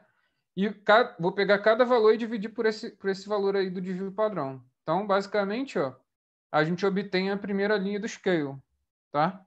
Então, ó, se eu voltar lá, quem vai ser o... Aqui, ó. Exatamente. A, a, a, aliás, aqui, a coluna, né? Primeira coluna. 1, 2, 0, 3, 0, 3, 2 e 0,80. Então, eu obtive por coluna, né? Então, se eu fizer para 2, para 3, né? Eu vou estar tá fazendo para tudo, tá? Então, basicamente é isso, tá? Tudo bem, pessoal? E aí, a gente vai fazer agora o min-max, tá? O min-max basta eu, em vez de colocar aqui, ó, center scale, eu boto range, tá? Ele já tem dentro do, do Carrot essa normalização padrão dentro dele, tá? E aí, é só eu botar range aqui no method, tá? E aí ele vai botar aqui ó, o pré-processamento, né? E aí eu coloco aqui o pré-processamento dentro da matriz e ele vai trazer o processamento, tá? Então, é, o que o professor Marcos Santos fez ainda não é esse, tá? Esse aqui é o Minmax, né? Ele, ele fez a, a, a transformação, ele pegou o quê? Tirou o mínimo e dividiu pelo, pelo é, mínimo menos o máximo, né? O máximo menos o mínimo. Calma aí. Cadê a. Deixa eu pegar aqui a fórmula. Eu esqueci de deixar aqui. Qual que você quer saber? Qual que você o Minmax. Minmax. É a pega... menos o mínimo. É a IJ menos o mínimo dividido pelo máximo, máximo menos o mínimo, não é isso? É. Beleza. Então, foi isso que a gente acabou de fazer aqui. Tá? Então, a gente normalizou pelo, é pelo Minmax. Tá? Então, é outro, outra forma de normalização. Aí aqui, como é que a gente faz na mão o min max, né? Dá para fazer? Dá para fazer. Ó, mesma coisa que eu fiz lá do primeiro, ó, eu estou selecionando o quê? A coluna, né? Então ele vai pegar 7.000, 4.000, 3.000 e vou tirar o quê? Tem que tirar o mínimo, né? Dessa coluna também, né? Então, se eu fizer isso aqui, vai ser... Ó, isso aqui eu peguei o 7.000 menos o mínimo, né? Quem é o mínimo? É o 3 mil, não é isso? Então, 4 mil. Aqui eu peguei o 4 mil menos o mínimo, né? 4 mil menos 3 mil dá mil. E assim por diante. 3 com 3, menos 3 mil dá zero. Isso aqui eu fiz da primeira, mas poderia fazer da segunda também. É só mudar o 2 aqui, né? Poderia também fazer um for para fazer isso de uma forma mais rápida também, enfim. Né? Pode fazer também, tá? Beleza? E aí, o, o, o, vou fazer agora a, a pegar o AIJ e dividir pelo máximo, né? Então, vamos fazer aqui. Como é que eu faço? Primeiro aqui, aqui vai mudar um... Deixa eu ver aqui. Vai ter que mudar um pouquinho, porque eu fiz com... Calma aí. Tá... Tá. Então, eu peguei aqui... Já você mandou o script que... até a 40. Como assim? Até 40? É? Então vou mandar aí para vocês, calma aí. Eu tinha selecionado tudo. Até 42 tá o meu. Você está com todos é? aí? Então calma aí que eu mando de novo, não tem problema. Deixa eu ver aqui. Ah, cadê? Cadê o chat? Deixa eu ver se eu estou dormindo aqui também. Eu não estou vendo o chat, calma aí. O zoom aqui é fogo, cara, o chat. Ah, deixa eu fechar tudo, que aí eu consigo ver. o chat. Falou no escopo Max. O hashtag Max. A Max. Hum, chat. Pronto. Ó. É porque eu acho que ele não vai até o máximo, não, cara. Ele vai ficar dando, dando até ele, onde ele aceita, entendeu? Beleza. Eu, eu, ele não deve ter mandado tudo. Aí botou câmera, ele botou até aonde agora? Ah, agora deixa eu ver aqui. Sam, eu acho que ele não mandou tudo ainda não, calma aí. Professor Thiago, tá me ouvindo? Pode falar, pode falar. Eu acho interessante colar o código todo no PasteBin e disponibilizar o link para todo mundo. Aí todo mundo pode ir lá, uh, copiar e colar na sua própria máquina. Vamos lá, me fala aí como é que é. pastebin.com é, Pastebin mesmo. Assim? Não, não, bin, B-I-N. Eu tô tentando, tá, é que tá no escuro, eu tô tentando digitar no escuro, tá difícil. é a segunda opção ali, ó, Peixe Bin, é, que tá ali no Google. É... Ali, ó. É esse aí mesmo que você clicou. Aí você só coloca que é você e cola o código aí. Você pode definir até a linguagem que é, no caso é o R. E, bom, facilita bastante a ideia pra gente. Porque só disponibilizar o link aqui no chat. Definir aqui R, cadê? É. R. Ah, depois, depois da live de hoje no escuro, já é, pode é. pegar o certificado de ninja já, cara. Cadê o. contra tudo Cadê... e contra todos, até contra. Rapaz. Tá bom, vamos. Ele aqui aceita tudo? Aceita, aceita tudo. Ah, vou dar um Ctrl A aqui então, vamos ver. Ctrl A, Ctrl C e Ctrl V. Beleza. Vamos. Boa. Cadê? Aí, só disponível, aí embaixo ali ele vai disponibilizar um link, dizer, obviamente tem que dizer que é um robô. Criar? Beleza. Isso.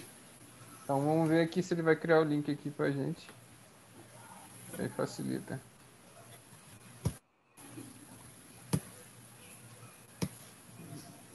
Essa URL aí, tá vendo? É Peixebin.pl, aquele ali, ó. Peixebin.pl view C6BTT. Só copiar esse colar aqui. Tem aí? Isso aí? É isso aí? É isso aí. Esse é isso aí. Beleza, então. Vou abrir aqui lá. agora, só um segundo. Beleza. Então, bora lá. Uh, então. Beleza, então, pessoal. A gente tá no Minmax. A gente fez o, Min, o Minmax, né? Agora a gente vai fazer o Amax. Então, beleza. O que, que eu tô fazendo aqui, né? É... Aí, certinho, chegou aqui agora. Perfeito. Beleza, só tem que fazer. Só te, eu vou ter que ver só as adaptações aqui. Deixa eu comandar aqui rapidinho. Ah, três, aqui, três. Matriz telefone 1, beleza. 2, 3. Aí o que, que esse As-Array faz aqui? Ele, ele, ele transforma isso aqui num vetor, tá? Então o que, que eu estou fazendo aqui? Estou pegando, ó, vou comandar aqui para vocês verem. Ó, tô comandando, ele pega o 7.000, 4.000, 3.000 e tira do máximo, né? Desses caras. Então, ele tira do 7.000, que é o máximo, né? Então, ele transforma tudo isso aqui num vetor, tá? Então, ele vai transformando um vetor, vetor, vetor. Aí aqui, tô pegando, ele tem, vai ter o quê? Três linhas, três colunas. E aqui tô falando para ele preencher por coluna, tá? Então, deixa eu chamar aqui, vamos ver o que bicho vai dar. Vai dar erro, porque hum, acho que não foi uma boa ideia ter mudado o exemplo. Erro em matrix, tal, tal, tal. Ah, não, calma aí. Eu acho que está com 40. Não, a mais? Não. Calma aí, vou ver o resultado desse negócio aqui.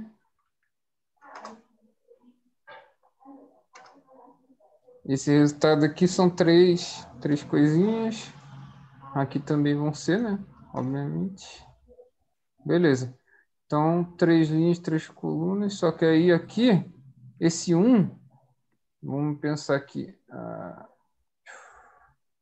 sete mil. Sete mil tira o máximo e... Aliás, divide pelo máximo, né? Aí vai dar um, quatro mil. Tá. Aí eu tô preenchendo por coluna e por. O que tá dando? Erro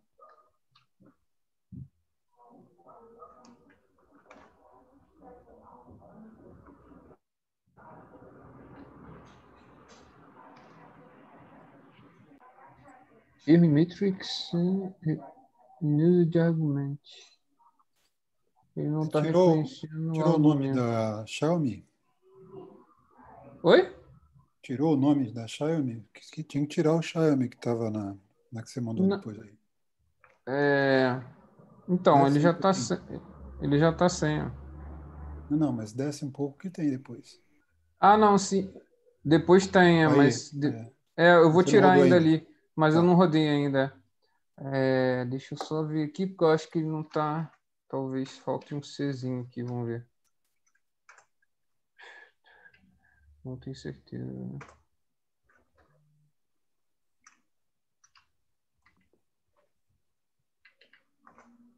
É, isso mesmo, beleza. E agora, é porque a gente tem que concatenar esses vetores, tá? Beleza? Então, é, eu devo ter apagado aqui sem querer em algum momento, não sei. Ou ele está reclamando agora, sim. Vamos ver. Aí aqui eu estou criando um data frame que vai ter o quê? O, o custo, né? Que vai ser matriz telefone é dividido pelo máximo, né? O bateria, matriz telefone dividido pelo máximo, eu só estou perguntando por que eu fiz isso aqui de cima. Calma aí. Não faz sentido. Eu fiz de duas formas diferentes, é isso? Não. Ah, por que, que eu fiz isso em cima, cara?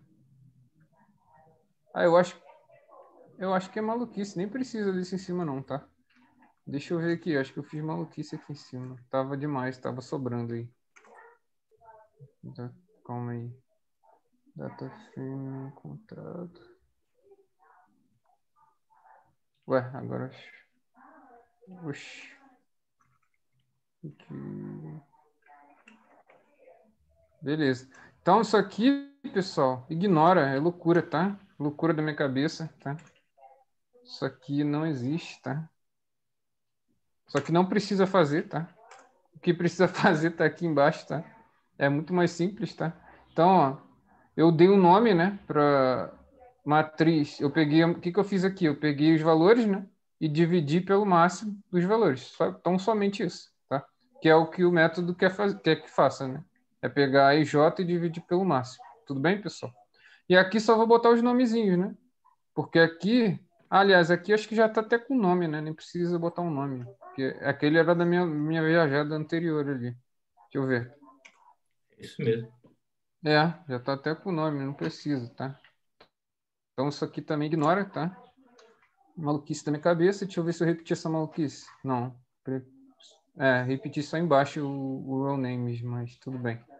É, vamos lá, então. Isso aqui, então, vai ter que ser, vai, vai ser o método que o professor Marcos Santos fez, tá? O, A, o A e J é dividido pela soma, né? Então, ó, o que, que eu estou fazendo aqui embaixo? Mesma coisa, estou pegando o vetor, né? Que é o 7.000, 4.000, 3.000, estou tirando pela soma desses valores, né? Aliás, dividindo, né? Dividindo, tá aqui, dividindo pelo, pelo, pela soma desses valores.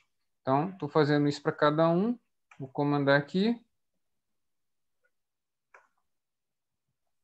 Ó. Beleza. E aí, basicamente, já está pronto também. Tá? Então, bateu aí com o professor Marcos Santos, 05, 028, 021? Que o professor fez? Bateu, bateu, bateu. Bateu? Top. Opa. Beleza. Bateu ou não bateu? Bateu. Bateu? Beleza, então. Então tá, tá aprovado aí pelo Inmetro. O professor Marcos Santos fez. fez tá, tá, tá batendo com o professor Marcos Santos, então tá certo. então, beleza. Então vou. Essa maluquice ah, aqui também aí, precisa. Peraí, peraí, Thiago. Fala aí. O, Manda aí. O custo. Hum. O custo tem que fazer aquela jogada de inverter, porque tá que o iPhone, né, ele ficou com peso 50%, só que ao contrário, né, por ele ser mais caro, ele tem que ficar com menor peso. Tem que fazer hum. aquela jogada de inverter. Então, bora lá. Então, vamos fazer. É... Chegar aqui. Então, tem que pegar aqui... 7 mil tem que virar 1 sobre 7 mil. Ou 1 sobre 7, né? Se você cortar o mil. Ih, mas aí vai ter que fazer dedicado, né?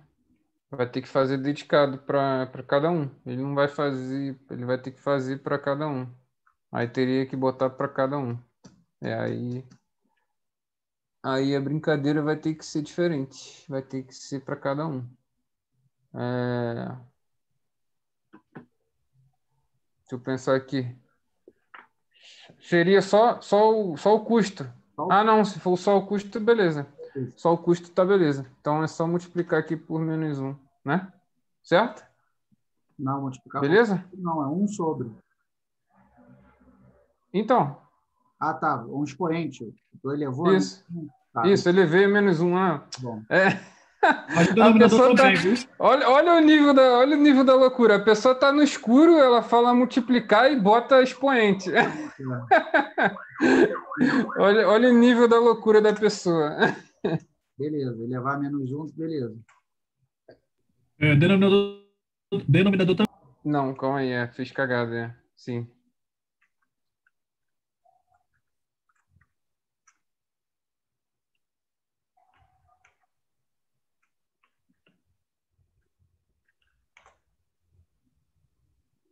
Foi? Eu acho que é dentro do parênteses, não, professor? Porque é a soma dos invertidos.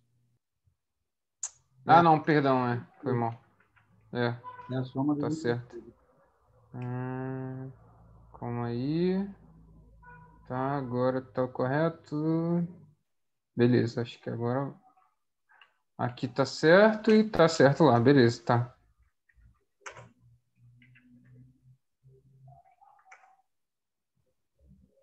Agora foi. Foi? Foi. Boa. Legal. Beleza. Top. Então aqui vai ter que fazer a mesma coisa, né? Aliás, não, nos outros. Câmera não. Só no... Não, não, tá bom. Só nesse aqui. É. Tá. Aqui ele pega o A e divide pelo raiz da soma de A quadrado. Soma né? da raiz. A... Soma da. É, já tá a raiz ali. Raiz da soma de A quadrado, isso aí. É a que a gente vai usar é. no método top 6. Beleza. Então esse aqui está correto. Esse aí mesmo. Hum.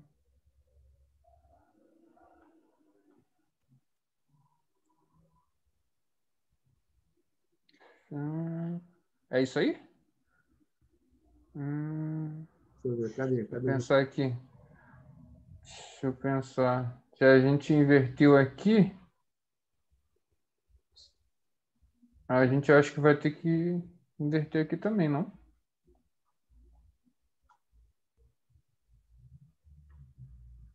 Hum. Menos um.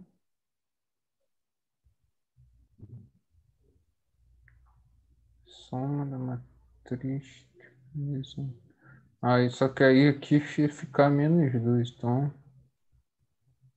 Hum, tô na dúvida. Tem que, tem que inverter aqui, mestre? Cadê? Peraí. O que é? Esse aqui tem que inverter ou não? É, é A e J dividido. Raiz da soma A e J. de A, A2. É, é raiz da soma dos quadrados de todo mundo que está na coluna. Então, mas tem essa jogada do custo também, de inverter?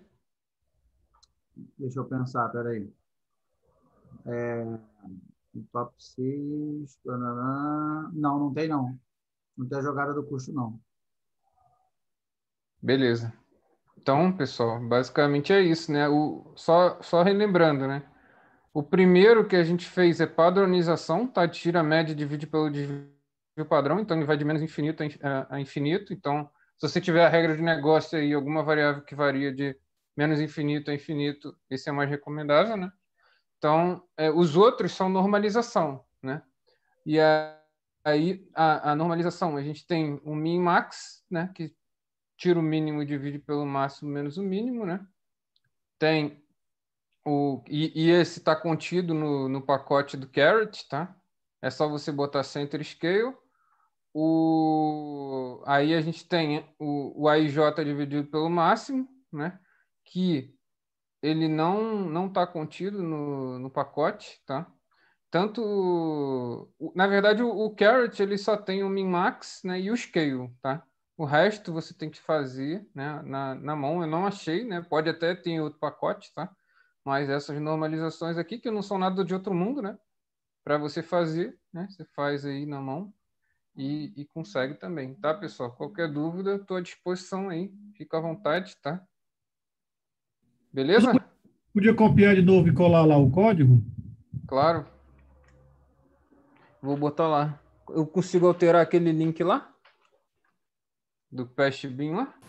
Consegue, consegue sim. É, tem algum lugar. Já... Não, não, aí é a incorporação para poder botar numa, numa página HTML. É, vai descendo que eu acho que tem como você alterar assim.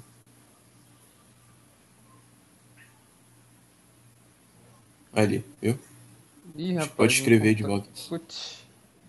Meu computador tá quase desligando, cara. Ah, Caramba, aí ficou complicado. Tá com... aí é brabo, né? Não, aí não tem peixe que é salve. Né? Pronto. Isso. Vou criar. Pronto. Vou criar. Ele, ele vai criar outro link ou ele mantém? É uma boa pergunta. Eu acho que ele cria outro. Porque ele tá criar, senão. Não sei. Vamos ver. Mas tu clicou voltar? Oi? Tu, você botou para voltar para poder fazer o link de novo ou foi naquela mesma página onde você voltei, tinha mostrado voltei, já? Voltei. Ah, então ele provavelmente vai criar outro mesmo. É.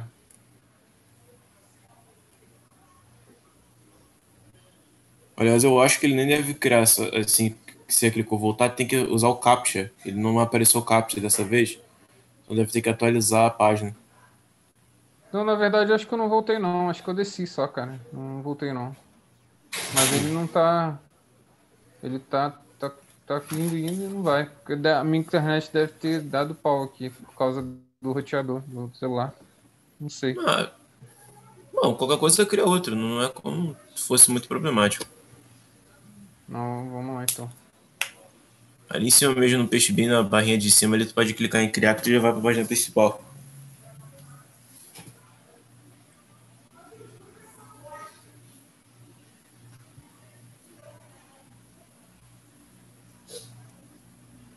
Tá vendo a lerdeza que tá?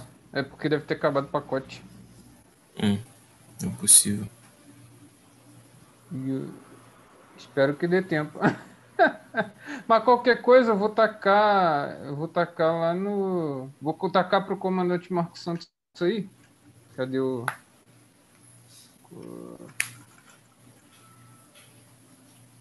Caramba. Cadê? Ó, mandei o código aí, mestre. Qualquer coisa manda pro pessoal aí, por favor. Tá. Eu não tô conseguindo aqui por causa do. Ah, agora voltou aqui, vamos lá. Ah. Vamos ver se ele vai criar agora. Não apareceu o Captcha também, né?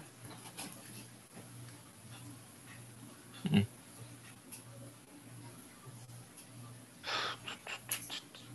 É, pode ser um problema com a internet mesmo. Bom. É. É, o pior é que a bateria tá indo embora aqui do, do, do computador, vai desligar, vai desligar daqui a pouquinho. Eu, ele já tá naquela tela, sabe, que fica mais escura. Quando... Então coloca no Sim. chat, professor. Coloca no chat agora que a gente copia e cola. Ah, ah não, vai lá. Então, mas o chat não vai ah, tudo, não. É verdade, verdade, desculpa. Mas eu já mandei pro comandante. Eu não sei se chegou aí. Chegou, comandante? Aqui, peraí. Dá uma olhada aí para ver se chegou para mandar pro pessoal. Ah. Não, não chegou não. Tá com preto aqui. Tá com preto, não chegou não. É. Peraí, vamos lá. A gente vai conseguir. Aí. Eu, eu vou tacar lá no CPO também. Deixa eu ver aqui. Mandei, mandei aqui ó, no chat. Ó. Oi? Mandei aí no chat. Chegou? Já mandei aqui na, no Zoom. Ah, boa. Então, mas não manda, não manda no chat, não. Tem que fazer o past bin. Ah, é? Porque senão não vai, é. Ah, então. Não vai tudo. Não adianta. Ó, esse, esse, esse site aí.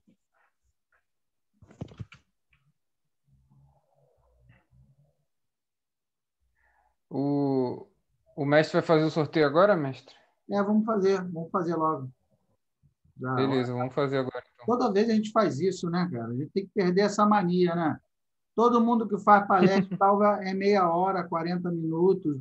A gente para para falar, fica três horas falando. Que inferno. É. Sempre isso. Pois é. Descompartilha aí para eu botar lá o. Vamos fazer o sorteio logo dos livros. Manda bala aí, vamos fazer sorteio. É, vamos. Bem, então. Cadê? Aqui, já. Hoje o sorteio vai ser em julho vai ser em quê? Sei, pô, sabe. Então a gente acabou, né? Então, aí, cenas do próximo capítulo, né? Então, já aprendemos a normalizar, e a cena do próximo capítulo é o curso que começa agora no sábado, e nós vamos usar aí a, a, o quarto procedimento de normalização, para que é a normalização utilizada para o método TOP-6, de apoio à tomada de decisão, e faremos vários, vai ter uma aula dedicada só à prática de exercícios com problemas reais. Né? Eu vou pegar lá quatro, cinco artigos que eu já é. publiquei, de casos reais. E esse aí vai ter também o. Vai ter aplicação na, tanto na biblioteca que eu desenvolvi no R também, né? E, e, e no Shine, né? Isso aí. É, vai ser bem massa. Esse aí a aula vai ficar gravada, professores? as aulas vão, ficam gravadas lá na, no, no, na plataforma. Dentro da. Isso, dentro da plataforma. Fica é, tudo gravado. Parte da comunidade. Né? Isso. É. Bem, e aí vamos lá, né? Esses então são os, os, os livros aí que nós vamos sortear. Dois. Caramba, hein? Dois só, só para motivar, vou tentar, vou tentar mostrar no escuro aqui. Deixa eu ver aqui. Se... Ai, caraca, é pesado esse negócio, hein? Dois é droga pesada, hein? E um do, do. Aqui. Olha só. No escuro, hein? Olha a grossura do bichinho. Vários pixels, deu para ver nada. Aí. Do Faveron Dá para ler. Mais de mil páginas. Eu tenho. É gigante. O bichinho é. É gigante. É. Bem, é... Vamos lá, como é que a gente vai sortear? É uma boa pergunta. Você vai fazer como? Não sei, pô. Estou te perguntando, tu me devolve outra pergunta. Você, cadê a lista do, do pessoal que se inscreveu aí Deixa durante? Não, eu acho mais justo sortear quem está aqui presente, né? É, e como é que a gente faz sorteio? Ué, peraí. Vai dar um, vai dar um, um formulário para o pessoal escrever? Pô, sei lá, deixa eu ver aqui, peraí. Ah. Mas o faz sorteio da lista, mas só ganha quem está presente. É, e pode... como é que a gente vai saber quem está presente? Esse é o problema. Tem que filtrar a lista. É, chama, a gente chama não fez um formulário, a gente esqueceu de botar o formulário aqui. É, não tenho. Durante a live. Não tem, não tem a lista, pô. deixa eu ver. É que teve gente que se inscreveu, o, o, o Humberto.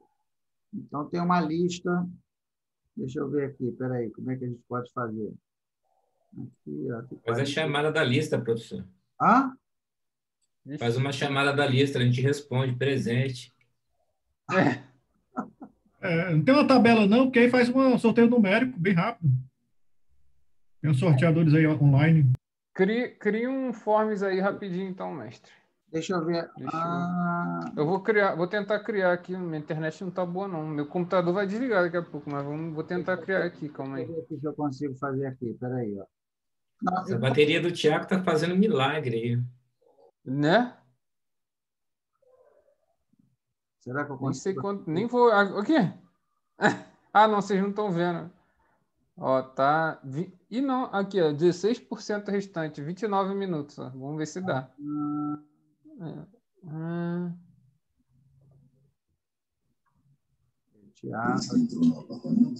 Aqui não adianta eu pegar porque muda. Vocês querem ajuda? Posso tabelar de repente botar uma numeração aqui pro pessoal que eu tô vendo. Escreva rapidinho no Excel. Vê isso que tu consegue fazer, mano. Então, dois minutinhos, dois minutinhos. Ei, Pablo, não pode ficar repetindo seu nome toda hora, não, cara. Ó, o Rafael mandou aí, ó. Aí, o Rafael mandou aí. Pode usar essa coisa aí do Rafael, ó. Sorteio que ele mandou aí. Sorteador. Como é que é aqui? É só botar o nome? Como é que, como é que faz o, o... Sorteador, sorteador, você entra lá onde tem nomes e só coloca uma lista de nomes. É, pô, o dele ainda ficou mais fácil ainda. Só escrever por, um. por linha. Oh, legal, e não conheci isso não. Eu também conheci. Você coloca o nome, enter o nome, entra e faz uma coluna aí de nomes. Boa, aí, bota lá embaixo, aí, pessoal, então. exibir apenas o primeiro, por exemplo, só um. Ali sorteia um. Então bota aí, pessoal, rapidinho o nome aí nesse negócio. Mas é cada um que bota o seu nome ou a gente tem que falar o nome de todo mundo? Não, tem que colocar todo mundo. Quem vai sortear preenche isso daí. Ah, entendi. todo mundo. Então, Pablo, pega aí, tem que pegar o nome de todo mundo, depois copiar e colar nesse, nesse sorteador aí. Não é cada beleza, um beleza. não. Só um minutinho. Eu tô nele aqui já.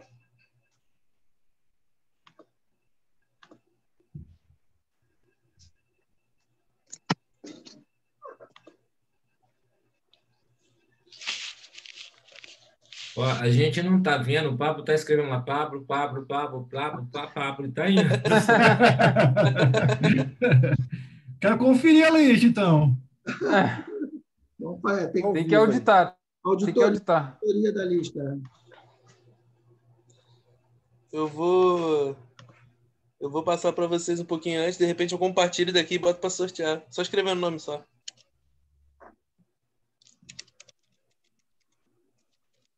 Vai ter auditoria, hein?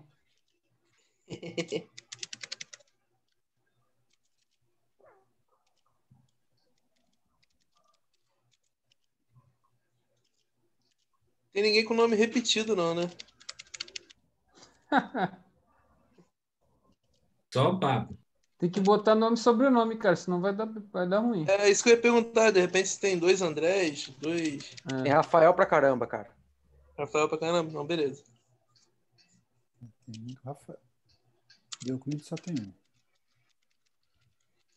Eu vi que tem três Igor também, ó. Igor Pinheiro, Igor Araújo e Igor Costa. Aí pode colocar só Igor sozinho também. Eu vi que tem vários aí. Beleza.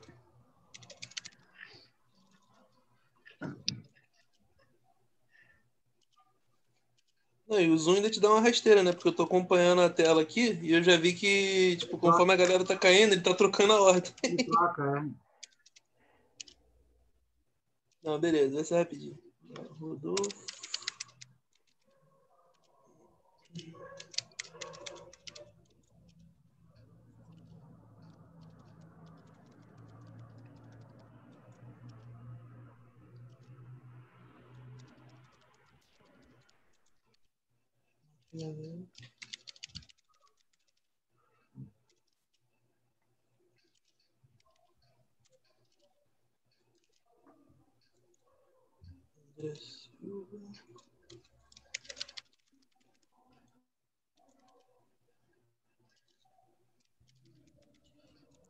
Fábio tá sem sobrenome. Só tem um Fábio também.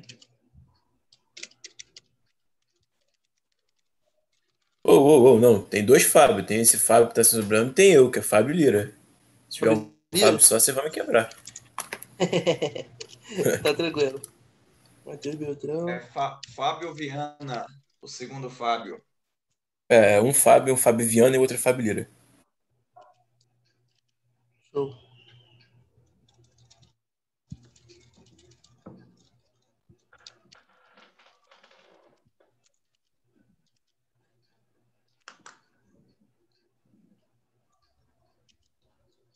Esquerda, Silva, Beltrão, Thierry.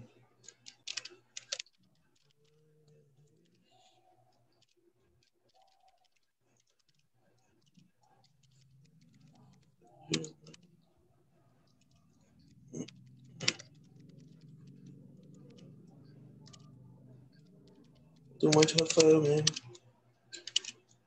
Rafael Jorge.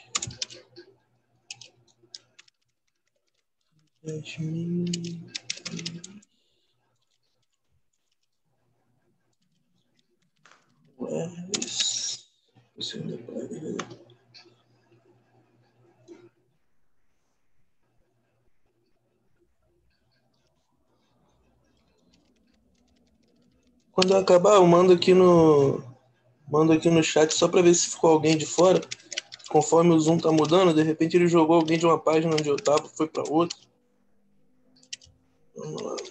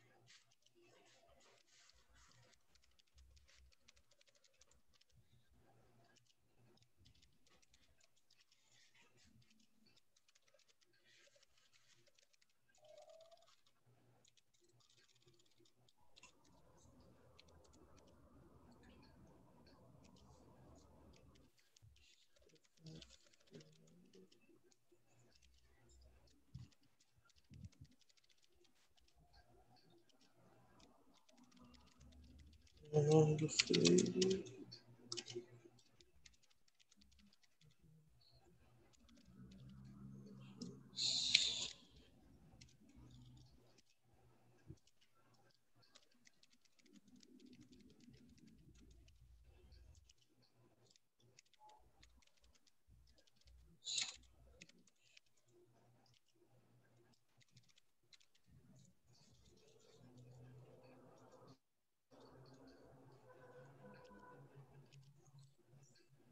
Galera, tem um Moisés Peterson e um Moisés também, né? Mandando a lista aí para vocês, só para ver se faltou alguém. Moisés Caetano. Beleza, beleza. Ah, não, eu vou seguir o nome de vocês pelo Zoom. Vê se deu certo aí. Passei só para ver se tá faltando alguém. E aí, verifica. Compartilha com a gente aí, pô. Pera aí. Compartilha o. Habilita ele aí, mestre. A, a compartilhar. Tá no chat, dá para ver. Ele jogou no, ele jogou no, ele jogou no chat. Tá e quem não tiver, é só falar. Pablo. Oi. Eu, Paula. Esse Paulo Drummond sou eu? Pra... Porra, saltou no bem ainda no final. Foi mal, Paulinha, foi mal.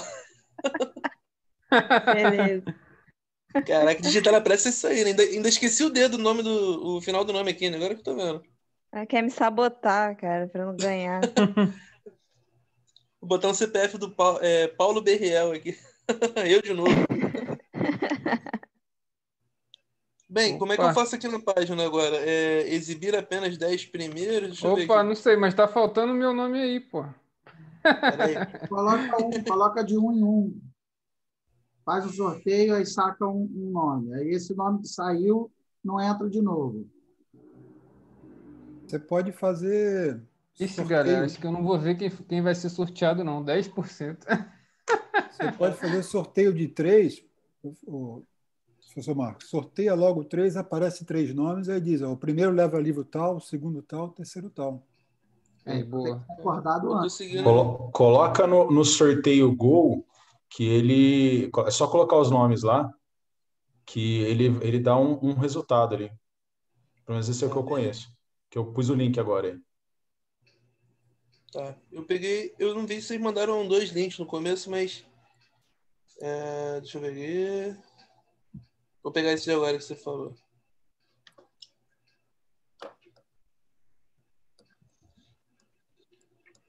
É, esse aqui ele já pergunta.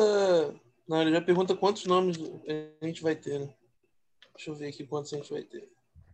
É, são três nomes, mas o problema é que, ah, pô, é, ah, eu queria o livro do Fábio. Então, fala assim, ó, agora eu vou sortear o do Fábio. Sai um nome. Ganhou, acabou. Né? Não, esse primeiro é, resultado terá quantos nomes? É só um mesmo, é um, um sorteado. É, vou fazer de um em um, né, mestre? É, melhor de um em um. Então vamos lá. Primeiro livro, qual é o primeiro livro que a gente vai sortear? Do Fávero. Uhum. Ó, na minha listagem aqui tem 43 pessoas. Não, meu nome pode. Querem que... Meu nome pode tirar. Se botou o meu, pode tirar. Eu já tenho esse. Tá. Deixa, deixa eu incluir então para você, Tira o meu aqui. também. Tira o meu também. Vai também? Já Então tenho. tá bom, hein? Eu tô. Tira o meu também.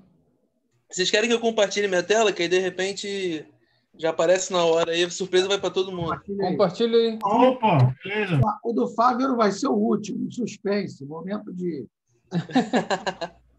Ó, vou tentar compartilhar aqui. Vamos lá. Primeiro, Tá Monte. Gomes.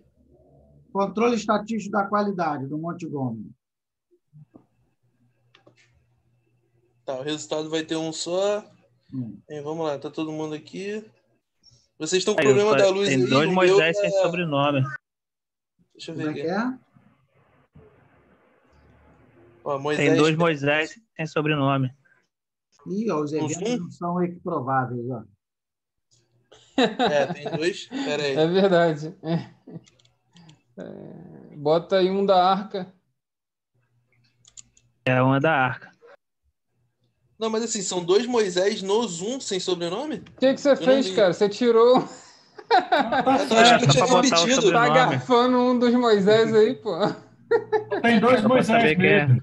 Tem É dois pra botar o Moisés sobrenome só- pra É frente. só botar o sobrenome. Caetano, Bota qualquer coisa aí, arca. Bota Moisés da arca aí, pô. Mas tem dois Moisés mesmo? Tem, pô. Moisés Caetano e o outro Moisés é o quê? Ó, Moisés Arca, Moisés Carta- Caetano. Peraí, tem mais um aqui também. Moisés Peterson. Só são dois, Tem não? três? É, eu, é isso que eu tô na dúvida, porque eu tinha contado, eu tinha contado só o Peterson e um sem nome. Falei, ah, esse sem nome, tranquilo, tá diferenciado, né? Moisés se dois Moisés pô. Você Apaga o Moisés da Arca. É só o Moisés Caetano e o outro Moisés, não é não? É, Só só isso aí. Moisés, Só tem né? dois. Só do- São dois, né? Ah, então é isso mesmo. Pago da arca. Arca. Então tá bom. Moisés da Arca. Legal se ele vendo? sorteado, vai ser engraçado. Moisés da arca. Pô, que aí, sorteio cara. é esse aí? Que Queria sorteio é esse intervalo aí? aí Vou depois esse negócio aí. rolo. Moisés da arca, que porra é essa? Tá bom, fez todo mundo aqui. Pá. É, tá bom. Então vou lá, sortear o primeiro, hein? Vocês estão vendo minha tela aí direitinho? O primeiro é o Monte Gomes, um dos Monte São dois Monte Gomes. Pô, abriu Ô, não, não, não, não faltou meu nome aí, não? Denis, vê aí, vê o meu professor Denis lá em aí. cima. Vamos lá. Vê o professor acho Denis, tá aí. Denis. Eu até abreviei o nome pra, pra ganhar Aí, tempo. aí, show de bola. Stephanie Simões tá aí? Quem? Stephanie Simões tá aí? Acho que Stephanie Fernanda. É Stephanie Fernanda? Dá um ok É Stephanie Fernandes. E é com E. Stephanie com E. Pelo menos é o que tá e- aparecendo e- aqui. É o que tá aparecendo aqui no Zoom. É. Calma aí. Stephanie com E no início. Aí, quer fazer uma chamada não, cara? Do primeiro nome até o último. Disse- Pode ser, pode ser. Faz aí, Não, faz aí rapidinho. nessa- faz aí nessa rapidinho. entra e sai. É. Melhor. É, faz aí rapidinho. Caraca. Vocês tá sem luz, né? Aqui a internet tá horrível. Vai, não lá, precisa eu- fazer de você não, tá? Claudinei. Tá Aqui. Beleza. Igor Pinheiro. Presente. Pode tirar esse, não quer não. Tá não? Euclides. Que? Professor Denis. Eu. Opa. Opa. É, Quem não Luciano responder, Alves. tira. Não, tô usando. Não faça Tô isso não, presente. rapaz. Beleza. Vitor Roseninja. Tô aqui. Tô de Batman de novo hoje. Beleza. Rodolfo Timóteo. Presente. Beleza, acho que a Stephanie caiu, só confirmar. Stephanie voltou. Putz, aí meu computador Rodolfo vai Timóteo. desligar. Fabrício Aguiar. Tô aqui. Aí, beleza. Marcos André. Aqui. Jefferson Klamaski. Acho que eu anotei até teu nome errado. Jefferson tá aí, galera? Cadê o Jefferson? Jefferson? Tá no Ele texto? tá ali, ele tá ali, só que não tá, não tá vindo som. Tá bom, vai. Beleza. André Silva. Ele falou, respondeu aqui o Jefferson. Beleza. Beleza. Não tô nem olhando o chat, tá? Se eles falaram O André alguma não coisa aí. O André É. não respondeu, um- não. O Fábio, sem sobrenome. É, presente, é Fábio Viana. Fábio Viana, beleza. O André respondeu? O Hum, ainda não. André não, mas tem, um, tem o André Silva que tá conectado. Tá, vai. Beleza. Então, Jéssica, acho que é Rodrigues, né? Jéssica R. Silva. Presente, tô aqui. Beleza. Matheus Beltrão. Matheus tá aí? Se não tiver, Tá online. hum, Tá online, só não sei se tá. Beleza. tá- Então, vamos lá. Etier. Etier Eu. tá. Beleza. Fábio Lira. Tô presente. Show. Wagner Reis. Ele tá aí, né, mas não tá falando, não. Show. Rafael. Acho até que escrevi o nome errado, cara. Fami, Fadionato. Isso, é só Fadionato. tirar o M de Maria aí tá certo. Ah, show. Fabiano Amaral. Tô aqui. Beleza. Rafael. Tá como Joji. Tá presente, aqui, tá presente. Tá presente? Show. Tá aí. Jasmine Luiz. Tá aqui, beleza. Aí, show. O Erles.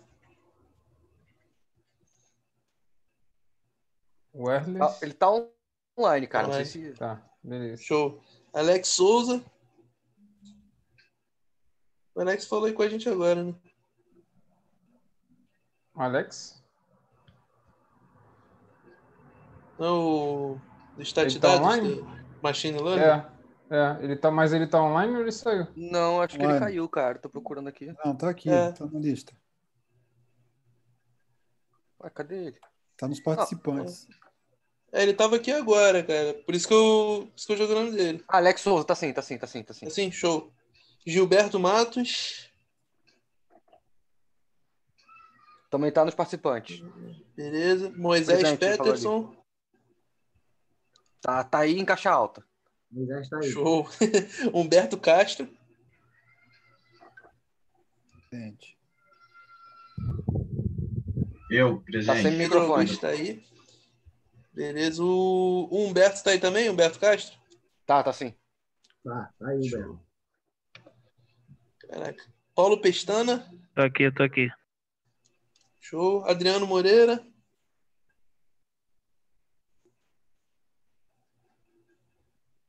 Ok, tá aqui. Tá por aí, tá por aí. Tá no Tá chat, aí, tá no aqui, chat. tá no chat. Show. Jean Carvalho. Tô aqui. Beleza. Paula Drummond. Vou até ajustar o nome dela aqui pra Ah, não causar obrigada. briga. Obrigada. Não, saiu nada.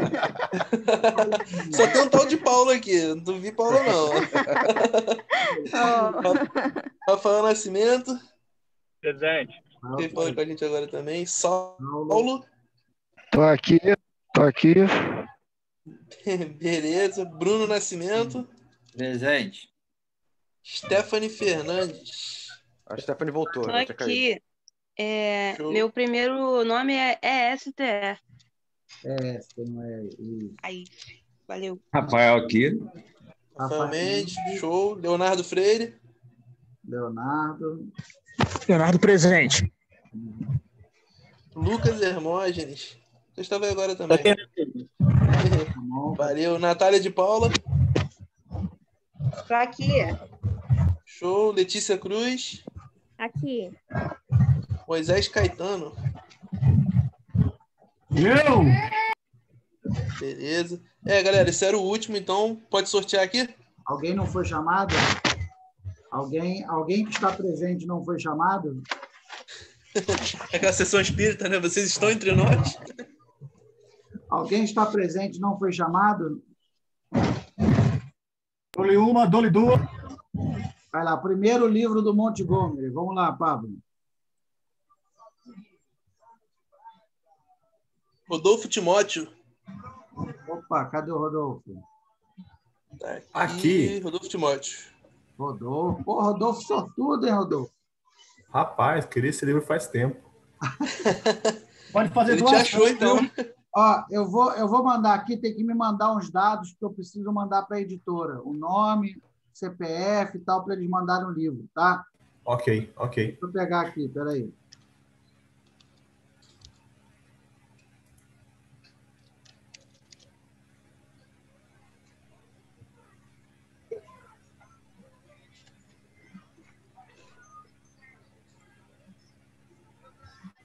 Quem ganhar, quem ganhar, eu preciso que me mande esses dados aqui, ó. Nome, endereço, e-mail e CPF. Eu vou passar para a editora, a editora vai mandar o livro direto para a casa de vocês. Vou botar aqui meu, meu telefone também, que aí qualquer coisa vocês me mandam pelo WhatsApp. Ah, beleza. Mandar pelo WhatsApp, então. Aí fica mais fácil. Eu só abrir o chat aqui que eu, Aqui, ó. eu saí do link. Botei meu telefone aí, ó, 998136603. Aí vocês. Aí o Rodolfo. Tenta manda- voltar aí, cara, o navegador pra ver se volta de novo. Ah, não, ele até abriu, mas ele deu uma outra opção ali. Deixa eu ver se no teu link vai mais rápido. Ah, então beleza. Tá aqui geral. Professor, cumulativo, então, ou o Rodolfo já, já sai dessa? É pro- probabilidade condicional. É, tira, sabendo que Rodolfo já ganhou, tira Rodolfo. Beleza. É a probabilidade da A, sabendo que B já saiu?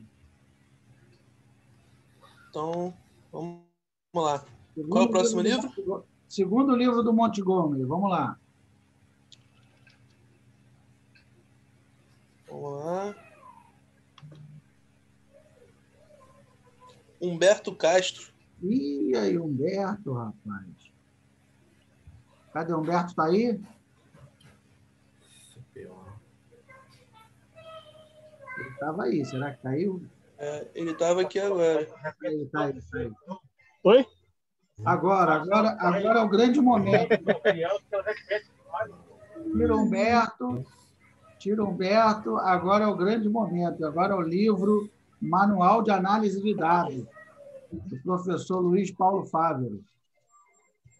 Deixa eu tirar o Humberto aqui.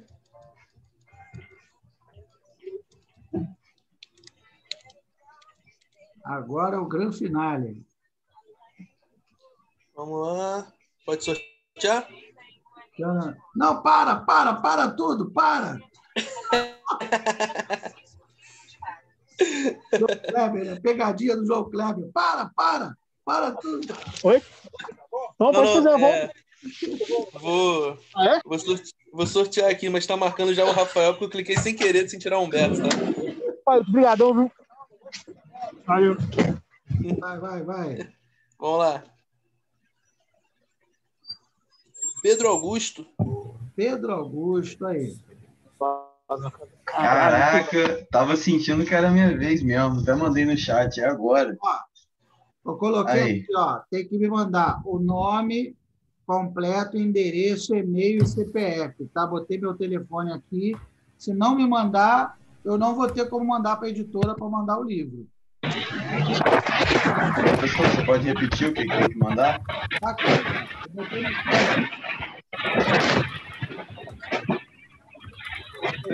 chat. Ó.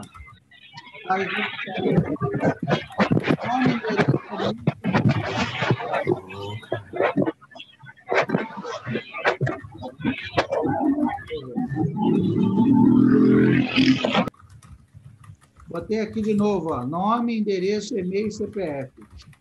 Tá? Me mandar. Botei meu telefone aí também, porque aí vocês me mandam por, pelo WhatsApp, para eu poder passar para a editora. Tá bom? Vou botar aqui, ó. Bem, então, meus amigos, então é isso, né? Deixa eu ver aqui, só para finalizar, praticamente já, já acabamos, né? O sorteio era o último, último evento. Então, esses dois livros são, do, são muito bons, muito bons. Eu tenho os dois do Montgomery e o outro é um, né, dispensa comentários, é do Luiz, do Luiz Paulo Fábio. Tá? Então, era isso que nós tínhamos para falar, acabou que se prolongou um pouco. Na verdade, eu preparei uma apresentação para 40 minutos, uma hora, mas sempre acaba, né, que a gente vai falando, falando e se prolonga. É, então, terminamos a normalização. O próximo passo é aprender os métodos propriamente ditos, né? seja o SAPEVO, seja o TOPSIS, seja o AHP, cada método vai utilizar uma normalização diferente. Né? Então, é isso que nós vamos começar a ver aí a partir do próximo sábado, né? a partir de, do próximo, não amanhã, né? o outro. Essa semana é a semana de inscrição na terceira turma, começou hoje, vai até sexta que vem. Sexta que vem interrompe a inscrição, sábado que vem, dia 7 de novembro, começamos o curso. Aí a próxima turma é só em janeiro. Tá bom? Então, meus amigos, é... deixa eu aqui. Então, muito boa noite a todos. Muito obrigado por estar aqui conosco. Desculpa aí o avançado da hora, né? É... mas acabou que o papo vai ficando bom, né? A gente vai é, vai tirando as dúvidas e aí na verdade, eu nem senti que ficamos aqui mais de três horas. Né? Foi tão, tão agradável que. Né? Passou que... voando mesmo, né? Hã? Passou voando. Passou voando tarde, mesmo. Né? Tá bom? Então, é... na próxima terça-feira, temos live da Casa da Pesquisa Operacional. Vai ser a professora Daisy.